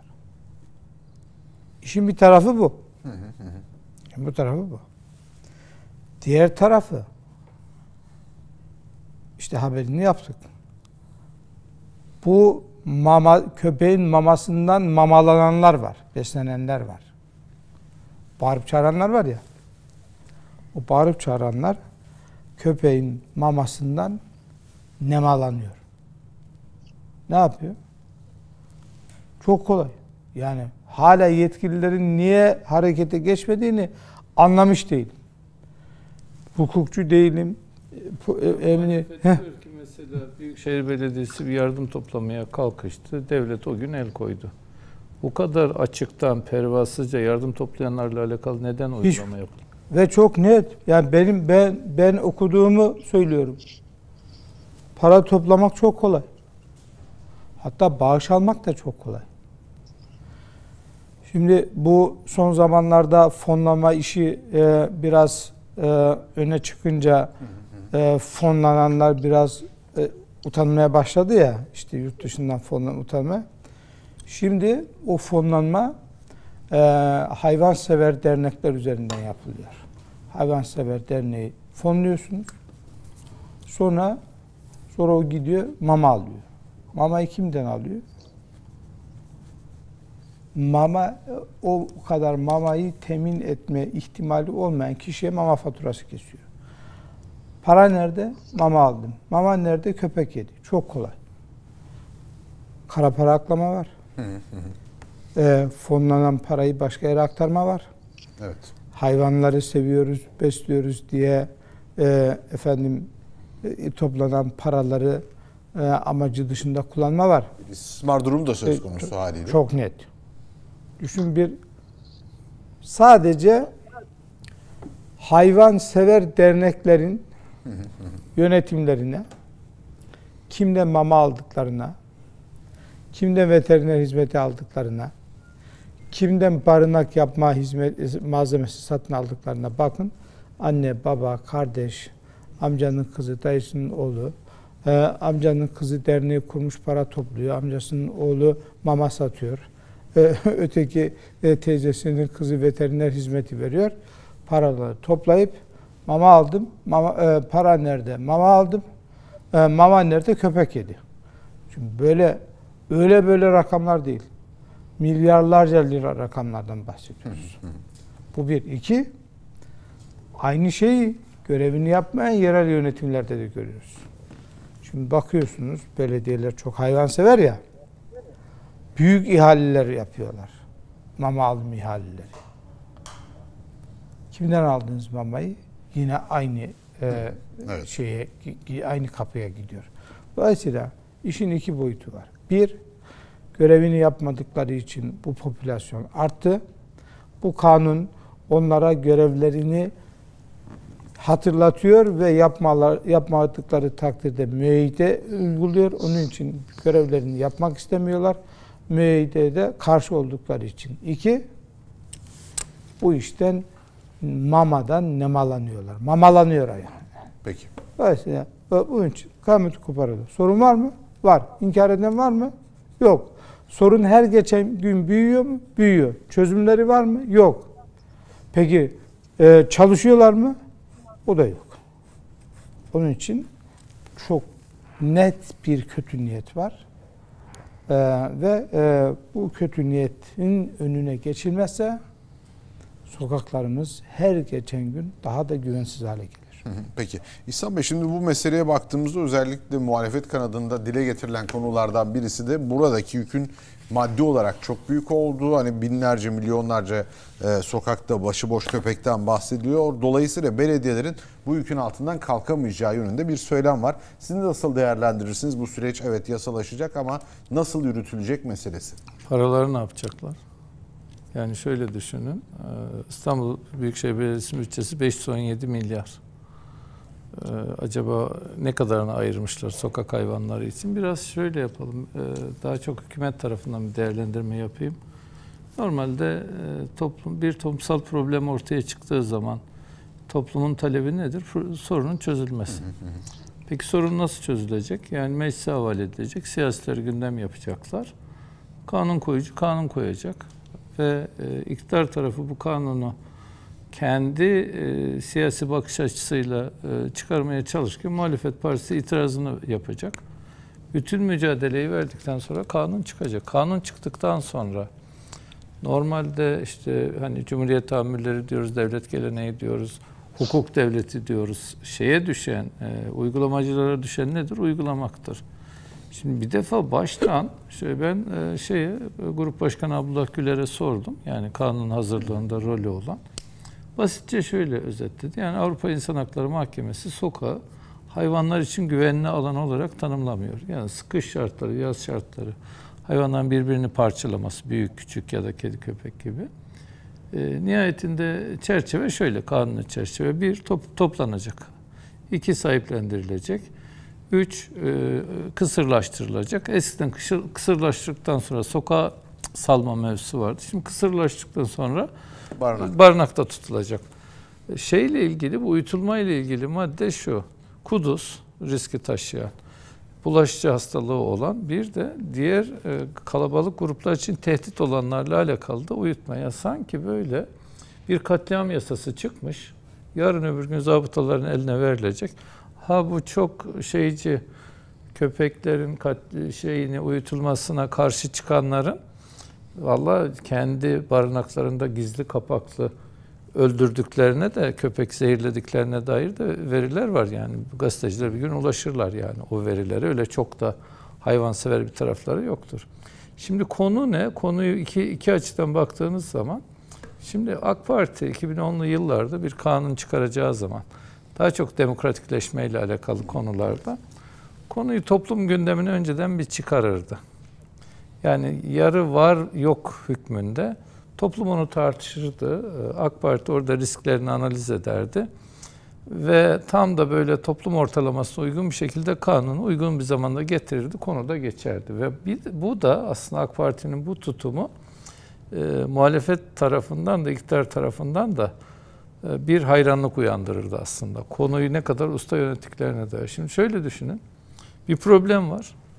AK Parti problemi çözmek istiyor ve bununla alakalı kanun çalışması yapmış. Şimdi muhalefet o kadar yüksek bir etkinlik ortaya koydu ki şu an AK Parti işte hayvanlara karşı suç işleyen, katliam yapan pozisyona düştü. Normalde halkın %60'tan fazlası sorunun çözülmesini istiyor. Ee, ve yasa katliam yasası değil, onu da eski yasaya dönerek yani e, veterinerlik yasasına atıf yaparak ötenaziyi de yumuşattılar. Şimdi e, Büyükşehir Belediye Başkanları ya da Özgür Özel diyor ki biz bu yasaya uymayacağız diyor. E peki yani şimdi vergi borcu olan bir adam kalkıp böyle bir ifade kullanma şansı var mı? Efendim bu vergi yasası yanlış ben bunu protesto ediyorum. Dün bir Cumhuriyet Halk Partili eskimiş milletvekili vardı. Diyor ki eylem kararı alan eylemin riskini göze alır, eylemi de yapar. E, Ben şunu düşünüyorum, e, şeyin bu hem Cumhuriyet Halk Partili belediyeler için hem e, AK Parti için eğer hükümette bu kadar savruk uygulamalar varsa onlar için de bir belediyenin bütçeyi nasıl kullan hangi p- projede hangi çerçevede nasıl ku- kullanacağına dair çerçeve yasaların çıkması lazım. Şu an Peki. yerel yönetimlerde olağanüstü bir keyfilik var. Ben şunu söyleyeyim. Mesela geriye dönük 4 yıllık bir İstanbul şeyi yaşadık, serüveni yaşadık. Kentsel dönüşüm yapmadılar, yatırım yapmadılar, hiçbir şey yapmadılar. Ve 100 milyar kadar parayı seçim kampanyasına hazırladılar ve bu 100 milyarı 2-3 aylığına dağıttığınız zaman da partide satın alabilirsiniz, adamda, delegede her şeyi yapabilirsiniz. Buraya eğer şey tarafı ya hükümet medyasıyla ya da e, işte kendi yani hükümetin iki pozisyonu var. E, Ülkede iktidar, yerelde muhalefette. evet. Bu muhalefette eğer AK Parti başaramazsa her mevzuda karşısına çıkar. Şimdi kişi diyor ki kanun kötü. Kişi diyor ki direneceğiz. Para harcamayacağız. Ha onu da yarın şuna getirecekler. Hükümet bütçe vermedi yapmadık. E tamam da yani şey- şu an mesela şu incelendi mi? Seçim zamanı hangi siyasi parti ne kadar kampanya yaptı? Bunun kaynakları nereden geldi, nereye gitti? Bu sorgulansa Allah e, şöyle İstanbul'da köpek popülasyonu 50 katına çıksa büyükşehirde 70 katına bütçe olur yani. Peki. Yeter ki yerli yerinde harcasınlar meseleleri. Ama maalesef biz siyasetten bunları tartışamıyoruz. Hep derler suçlu bağırmış, suçsuzun ödünü patlatmış diye. Şu an böyle bir durumda karşı karşıya. Peki bir kez daha ara diyeceğiz. Ara sonrasında son bölümde hem bu konuyu hem de belediyelerin borçlarını konuşacağız. Kısa ara sonrasında.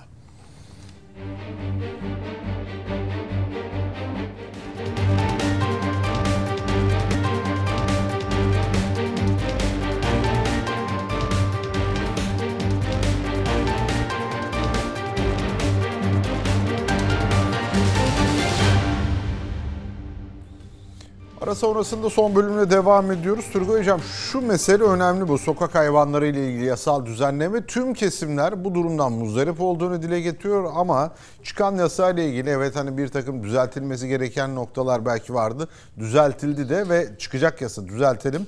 Ee, ama son noktada önemli bir merhale alınmış oldu. Ama iletişim meselesine bakalım. Sizin uzmanlık alanınızda devam edelim. Zira bu konunun kanun yapıcılar tarafından doğru anlatılmadığı, daha doğrusu anlatılamadığına şahit olduk galiba. Bir iletişim kazası mı yaşandı? Nasıl değerlendirirsiniz? Şimdi tabii özellikle çok ciddi anlamda bir toplumsal talebe karşılık geldiğini biliyoruz. Bunun özellikle kamuoyu araştırmalarına yansıyan ve bu yansımaların verisel ve göstergesel izahı açısından başıboş sokak hayvanları ile ilgili yani köpeklerle ilgili çok ciddi bir tedirginlik var. Çok ciddi bir rahatsızlık var. Ve bu sorunun çözümü anlamında belki de son 10 yılda belirli periyotlarda özellikle toplumsal anlamda infiale neden olabilecek olaylarda bu tedirginliğin has safhaya çıktığı ve siyasi e, mekanizmalardan bu sorunun çözümüne ilişkin bir talep olduğu ortada. Evet. Şimdi şöyle bir tespit yapalım. Siyaseten iktidarın hegemonyasını sürdürmesinin en önemli göstergelerinden bir tanesi söylemsel anlamda üstünlüğünü sürdürebilmesinde saklı. Yani bir iktidar söylemsel anlamda üstünlüğünü kaybettiği yandan itibaren iktidarının diğer alanlarındaki varlığı da sorgulanır hale gelir. Özellikle 31 Mart sonrasında AK Parti iktidarı açısından bakıldığında söylemsel üstünlüğün kaybedildiğine ilişkin çok ciddi eleştiriler var. Şimdi burada özellikle komisyonda bu yasa tasarısının tartışılması esnasında e, yasa tasarısını gündeme getiren AK Partili vekillerin ve komisyon üyelerinin tavırları ya da söylemleri ya da bu söylemin bu mekanizmanın tartışılmasındaki tavrına baktığımızda diğer yanda da bunu bir katliam yasası olarak takip eden, dillendiren ve geniş kitlelerin bunu sahiplenmesini salık veren bir e, muhalefet tarafı var. Ve muhalefet tarafını da ciddi anlamda söylemsel olarak destekleyen hatta giriş koşulları neredeyse olağanüstü zor olan Türkiye'deki diğer bürokratik kurumlar itibariyle düşünüldüğünde Türkiye Büyük Millet Meclisi'nde bile ciddi anlamda protestoyu aşacak bir biçimde oliganik tarzda bir eyleme tanıklık edildiğini de düşünüldüğünde bir lobi desteği de söz konusu. Bu iki cephede ben iktidarın AK Partili vekillerin ki Sayın Cumhurbaşkanı'nın da son MKYK'da böyle bir eleştirisi olduğu ifade ediliyor. AK Partili vekillerin bu söylem üstünlüğünü kuramadıkları kanaatindeyim. Şimdi uzunca bir süredir bu mesele tartışılıyor ve bu meselenin ciddi bir toplumsal dayanağı var ve toplumsal karşılığı var. Bir talebe karşılık geliyor bu. Yakıcı bir toplumsal geçmişi de var bu hadiseler üzerinden düşünüldüğünde ve siz bunu bu komisyonda tartışıldığında ki o komisyonda iki tane ebeveyn bu konuda çok muzdarip iki tane ebeveynin o feryatlarına bile tanık olduğumuzda aslında bu meselenin ne kadar sahici, ne kadar gerçekçi, ne kadar da bir ihtiyaca binaen ortaya koyulduğunu görebiliyoruz. Ama bu anlamda bunu bir katliam yasası olarak tartıştırıp bu lobi desteğiyle daha geniş cephelere sirayet ettiren bir aklın bu anlamda söylem üstünlüğünü ele geçirdiği hatta bu yasa tasarısı ve bu yasayla ilgili içerikten bağımsız olarak ciddi manipülasyonlara, dezenformasyonlara imza atıldığını görüyoruz. Ama tabii burada e, Hüseyin abinin de söylediği gibi bu meseleye gelene kadar yerel yönetimlerin tavrı da önemli ölçüde bu meselenin derinleşmesinde çok ciddi bir etki oluşturdu. Ama bugün çözüm anlamında bakıldığında bu komisyonda özellikle AK Partili vekillerin bu meseleyi tartışma ve söylem üstünlüğünü ele geçirme anlamında bir zafiyet yaşadıklarını çok açık bir biçimde söylemek gerekiyor. Diğer taraftan tabii bu lobi meselesi önemli bir mesele. Sayısal olarak yani nicelik olarak az olmalarına rağmen bu kadar ciddi bir ses çıkarıyor olmaları, bu kadar ciddi anlamda yasa tasarısını bulanıklaştırmaları bence e, sorgulanması gereken bir husus. Az önce de ifade edildi. Bazı belediyelerde neredeyse yani hem demografik olarak nüfus açısından hem de hayvansal e, nicelik anlamında o niceliğe karşılık gelemeyecek derecede milyarlarca liralık e, mama alımı, yem alımının yapıldığı, bunların da prosedürsel anlamda ciddi ihlaller barındırdığını e, bugün çok açık bir biçimde görebiliyoruz. Şimdi böyle bir lobi ve bu lobiyi destekleyen bir siyasi muhalefet aklı e, bir toplumsal talebe karşılık söylem üstünlüğünü ele geçiriyorsa burada düşünülmesi gereken çok ciddi dersler var diye düşünüyorum. Ki Sayın Cumhurbaşkanı'nın özellikle o iki ebeveynin feryadının e, dillendirilmesi anlamında da bir serzenişi olduğu ifade ediliyor. Bence bu siyasi e, istikrar meselesindeki son dönemde özellikle 31 Mart sonrasında AK Parti'ye yapılan eleştiriler meselesinde ortaya çıkan bence en önemli hususlardan bir tanesi ki bu da turnusol kağıdı oldu. Hı hı. Bir iktidar söylem üstünlüğünü kaybettiği andan itibaren aslında diğer iktidar alanlarındaki varlığı da sorgulanır hale gelir. Onun için bütün meselelerde sadece Sayın Cumhurbaşkanı Erdoğan'ın bir yurt dışı gezisinde ya da bir grup konuşmasındaki o söylem üstünlüğünü arayacak hale geldiğinizde o zaman sizin siyasi varlığınızla ilgili de şüpheler artar. Onun için Sayın Cumhurbaşkanı'nın bu liderliği, meselelere bakış açısı, o söylem üstünlüğünü kurma meselesine bence ayak uyduracak, eşgüdümlü bir siyasi mekanizmaya ihtiyaç var diye düşünüyorum. Bu bence çok önemli bir e, örnek teşkil ediyor. Peki e, noktalayacağız zamanımız daraldı. Şu soruyu da sormak isterim size. Diğer konuklarımıza da soracağım ama kısaca e, görüşünüzü almak isterim hocam. Şimdi belediyelerin borç yükü meselesi özellikle SGK ile ilgili CHP'li belediyelerin başta olduğunu gördük. Bir süreç aslında ciddi bir de bir problematiğe işaret ediyor. Sizce bu süreç nasıl çözülebilir? Çünkü aslında birçok belediyede bu anlamda ciddi borç yükünün olduğuna da şahidiz. Ya çok yani tekil örnekler de verilebilir ama genele sirayet ettiği için söyleyebilirim. Mesela bundan 5 sene önce vergi dairesine intikal etmiş bir borcunuz olsun. 2 bin lira, 3 bin lira önemli değil miktarı. Hemen banka hesaplarınızda ki son dönemde çok yaygın yani bu sıkı para politikasının getirdiği e, önlemlerden ki olması gereken de bir şey zaten. E, e-haciz konuluyor. Yaygın bir şey, uygulama. Ya şimdi bireylere uygulanan bu müeyyide herhangi bir yerel yönetimden, herhangi bir kurumdan esirgendiğinde bu sefer bireyler şunu düşünüyor. Bunların, bu kurumların, belediyelerin ne tür muafiyetleri var? Şimdi bakıyorsunuz Türkiye'de ilk 5'te en fazla vergi borcu olan belediyelere İstanbul'da bir belediyenin, ilçe belediyesinin bu ilk 5'te yer aldığını görüyorsunuz. Hı, evet. Nasıl bir bütçe, nasıl bir bütçe yönetimi, Sosyal Güvenlik Kurumu bu açığa, bu borca niye bugüne kadar müdahale etmiyor? Bu müdahalelerdeki gecikmenin sebebi ne? Ya da muhalefet bunu bugün bir savunma mekanizması olarak dile getirdiğinde e, sanki e, yani bir direnme mekanizması az önceki yasada olduğu gibi biz bunu katliam yasası olarak görüyoruz. E, dolayısıyla buna karşı cevabımız çok farklı şekilde olacak. Yani yasa tanımazlık, bir sivil itaatsizliğin ötesine geçen kurumsal refleksle harekete geçirilen bir geçirilmeye çalışılan bir geniş kitle. Bu açıdan da baktığımızda burada da öyle. Yani yerel yönetim devletin diğer kurumlara olan borçlarını ödeme noktasında bunu bir muhalif, muhalefet enstrümanı olarak kullanacaksa e o zaman Peki. bireyler ne yapsın? Peki. Yani bu mekanizma yerel yönetimler içinde uygulanması gerekiyor. Yani ekonomik istikrarın en önemli meselesi güven meselesidir. Güveni bu e, tabana yaymadığınız sürece e, geniş anlamda bir ekonomik istikrar da sağlayamazsınız. Bence bu güvenin test edilmesi açısından önemli bir gösterge olacak. Peki, peki çok teşekkürler Sayın Hocam. Şimdi Hüseyin Bey bu mesele önemli. Belediyelerin borçlanması meselesi ve az önce Turgay Hocam da işaret etti.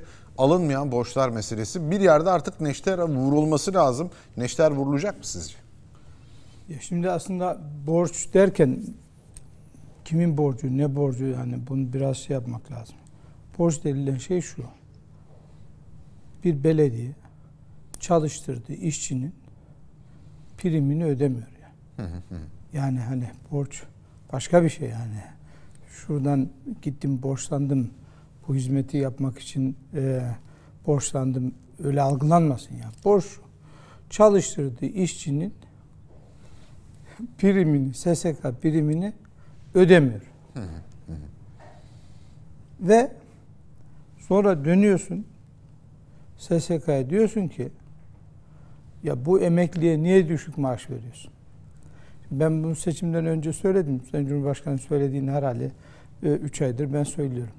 Şöyle düşünün. Ankara Büyükşehir Belediyesi'nin SSK'ya olan prim borcu 5.7 milyar lira. 5.7 milyar lira. Seçim döneminde bunun 4.5 milyar ol, olduğuna ilişkin bir bilgi vardı. Seçim olalı kaç gün oldu? Aylar Dört geçti ay. evet. 4 ayda 1.2 milyar lira borç taktı SSK'ya Ankara Büyükşehir Belediyesi. 1 milyar lira borç taktı. Peki bu esnada ne yaptı? Bu esnada 50 tane, 100 tane, 500 tane artık bilmiyorum. Emekliye biner lira para verdi. 50 bin lira para verdi. Emekliye. Emeklinin maaş aldı, aldığı SSK'dan SSK'ya 5.7 milyar lira borç taktı. Kimin parasıyla kime hava atıyorsun? Çalıştırdığın işçinin parasını maaşını ödediğin gibi primini de ödeyeceksin. Ödeyeceksin ki o primi alan kurum o parayı değerlendirecek. O işçi emekli olduğu zaman o değerlenen, biriken, sandıkta biriken parayla iyi maaş alsın. Evet. Şimdi bu yapılıyor mu? Yapılmıyor. Sadece İstanbul Büyükşehir Belediyesi'nin 5 yılda personel sayısı 20 bin artmış. Peki. Ödemediği birimin e, işçi sayısını arttırarak daha fazla bir yük getirmiş. Dolayısıyla olsun İhsan yani e, dolayısıyla buradaki mesele şu değil yani. Efendim ben belediyeyim, yol yapacağım, elektrik, e, su, e, su getireceğim, park yapacağım, e, şunu yapacağım, bunu yapacağım. Bundan dolayı borçlandım. Bu borç hizmet borcudur. Hizmet yapmak için aldığım bir borçtur. Dolayısıyla hani bu konuda tolerans istiyorum denilebilir yani işte öyle bo- par- bütçem yoktu borçlandım hizmet yaptım. Kime hizmet yaptım? İstanbul'da, Ankaralı'ya ya da işte nerenin belediye başkanı. Böyle mi? Yok. Çalıştırdı, işçinin primini ödemiyor. Borç dediğimiz bu. Devletin sırtına binen bir yük. Peki. Ve e, sonra da işte Sayın Cumhurbaşkanı dedi ya, madem bu kadar cesursun o zaman belediyelerine talimat ver. SSK'ya olan borcunu dağıtsınlar, ödesinler. Ben de o e, bütçeden emekliye biraz daha refah payı vereyim. Yani. Evet.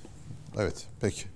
İhsan Bey e, çok kısa sizden alacağım çünkü zamanda olmak üzere yönetmenim de sıkıştırıyor beni. Sizin görüşünüz nedir? Hüseyin Bey vurguladı bir garabet durum söz konusu. Artık bu alışkanlıktan vazgeçmek lazım galiba. Ya bunu iktidar muhalefet açısından değil de Türkiye Cumhuriyeti Devleti'nin kurumsal işleyişini tepeden tırnağa gözden geçirmek lazım.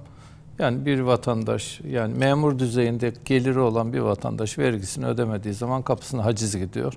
Kusura bakmasın da burada ben devletin işleyişinde sorun görüyorum. İster AK Partili belediye olsun ister.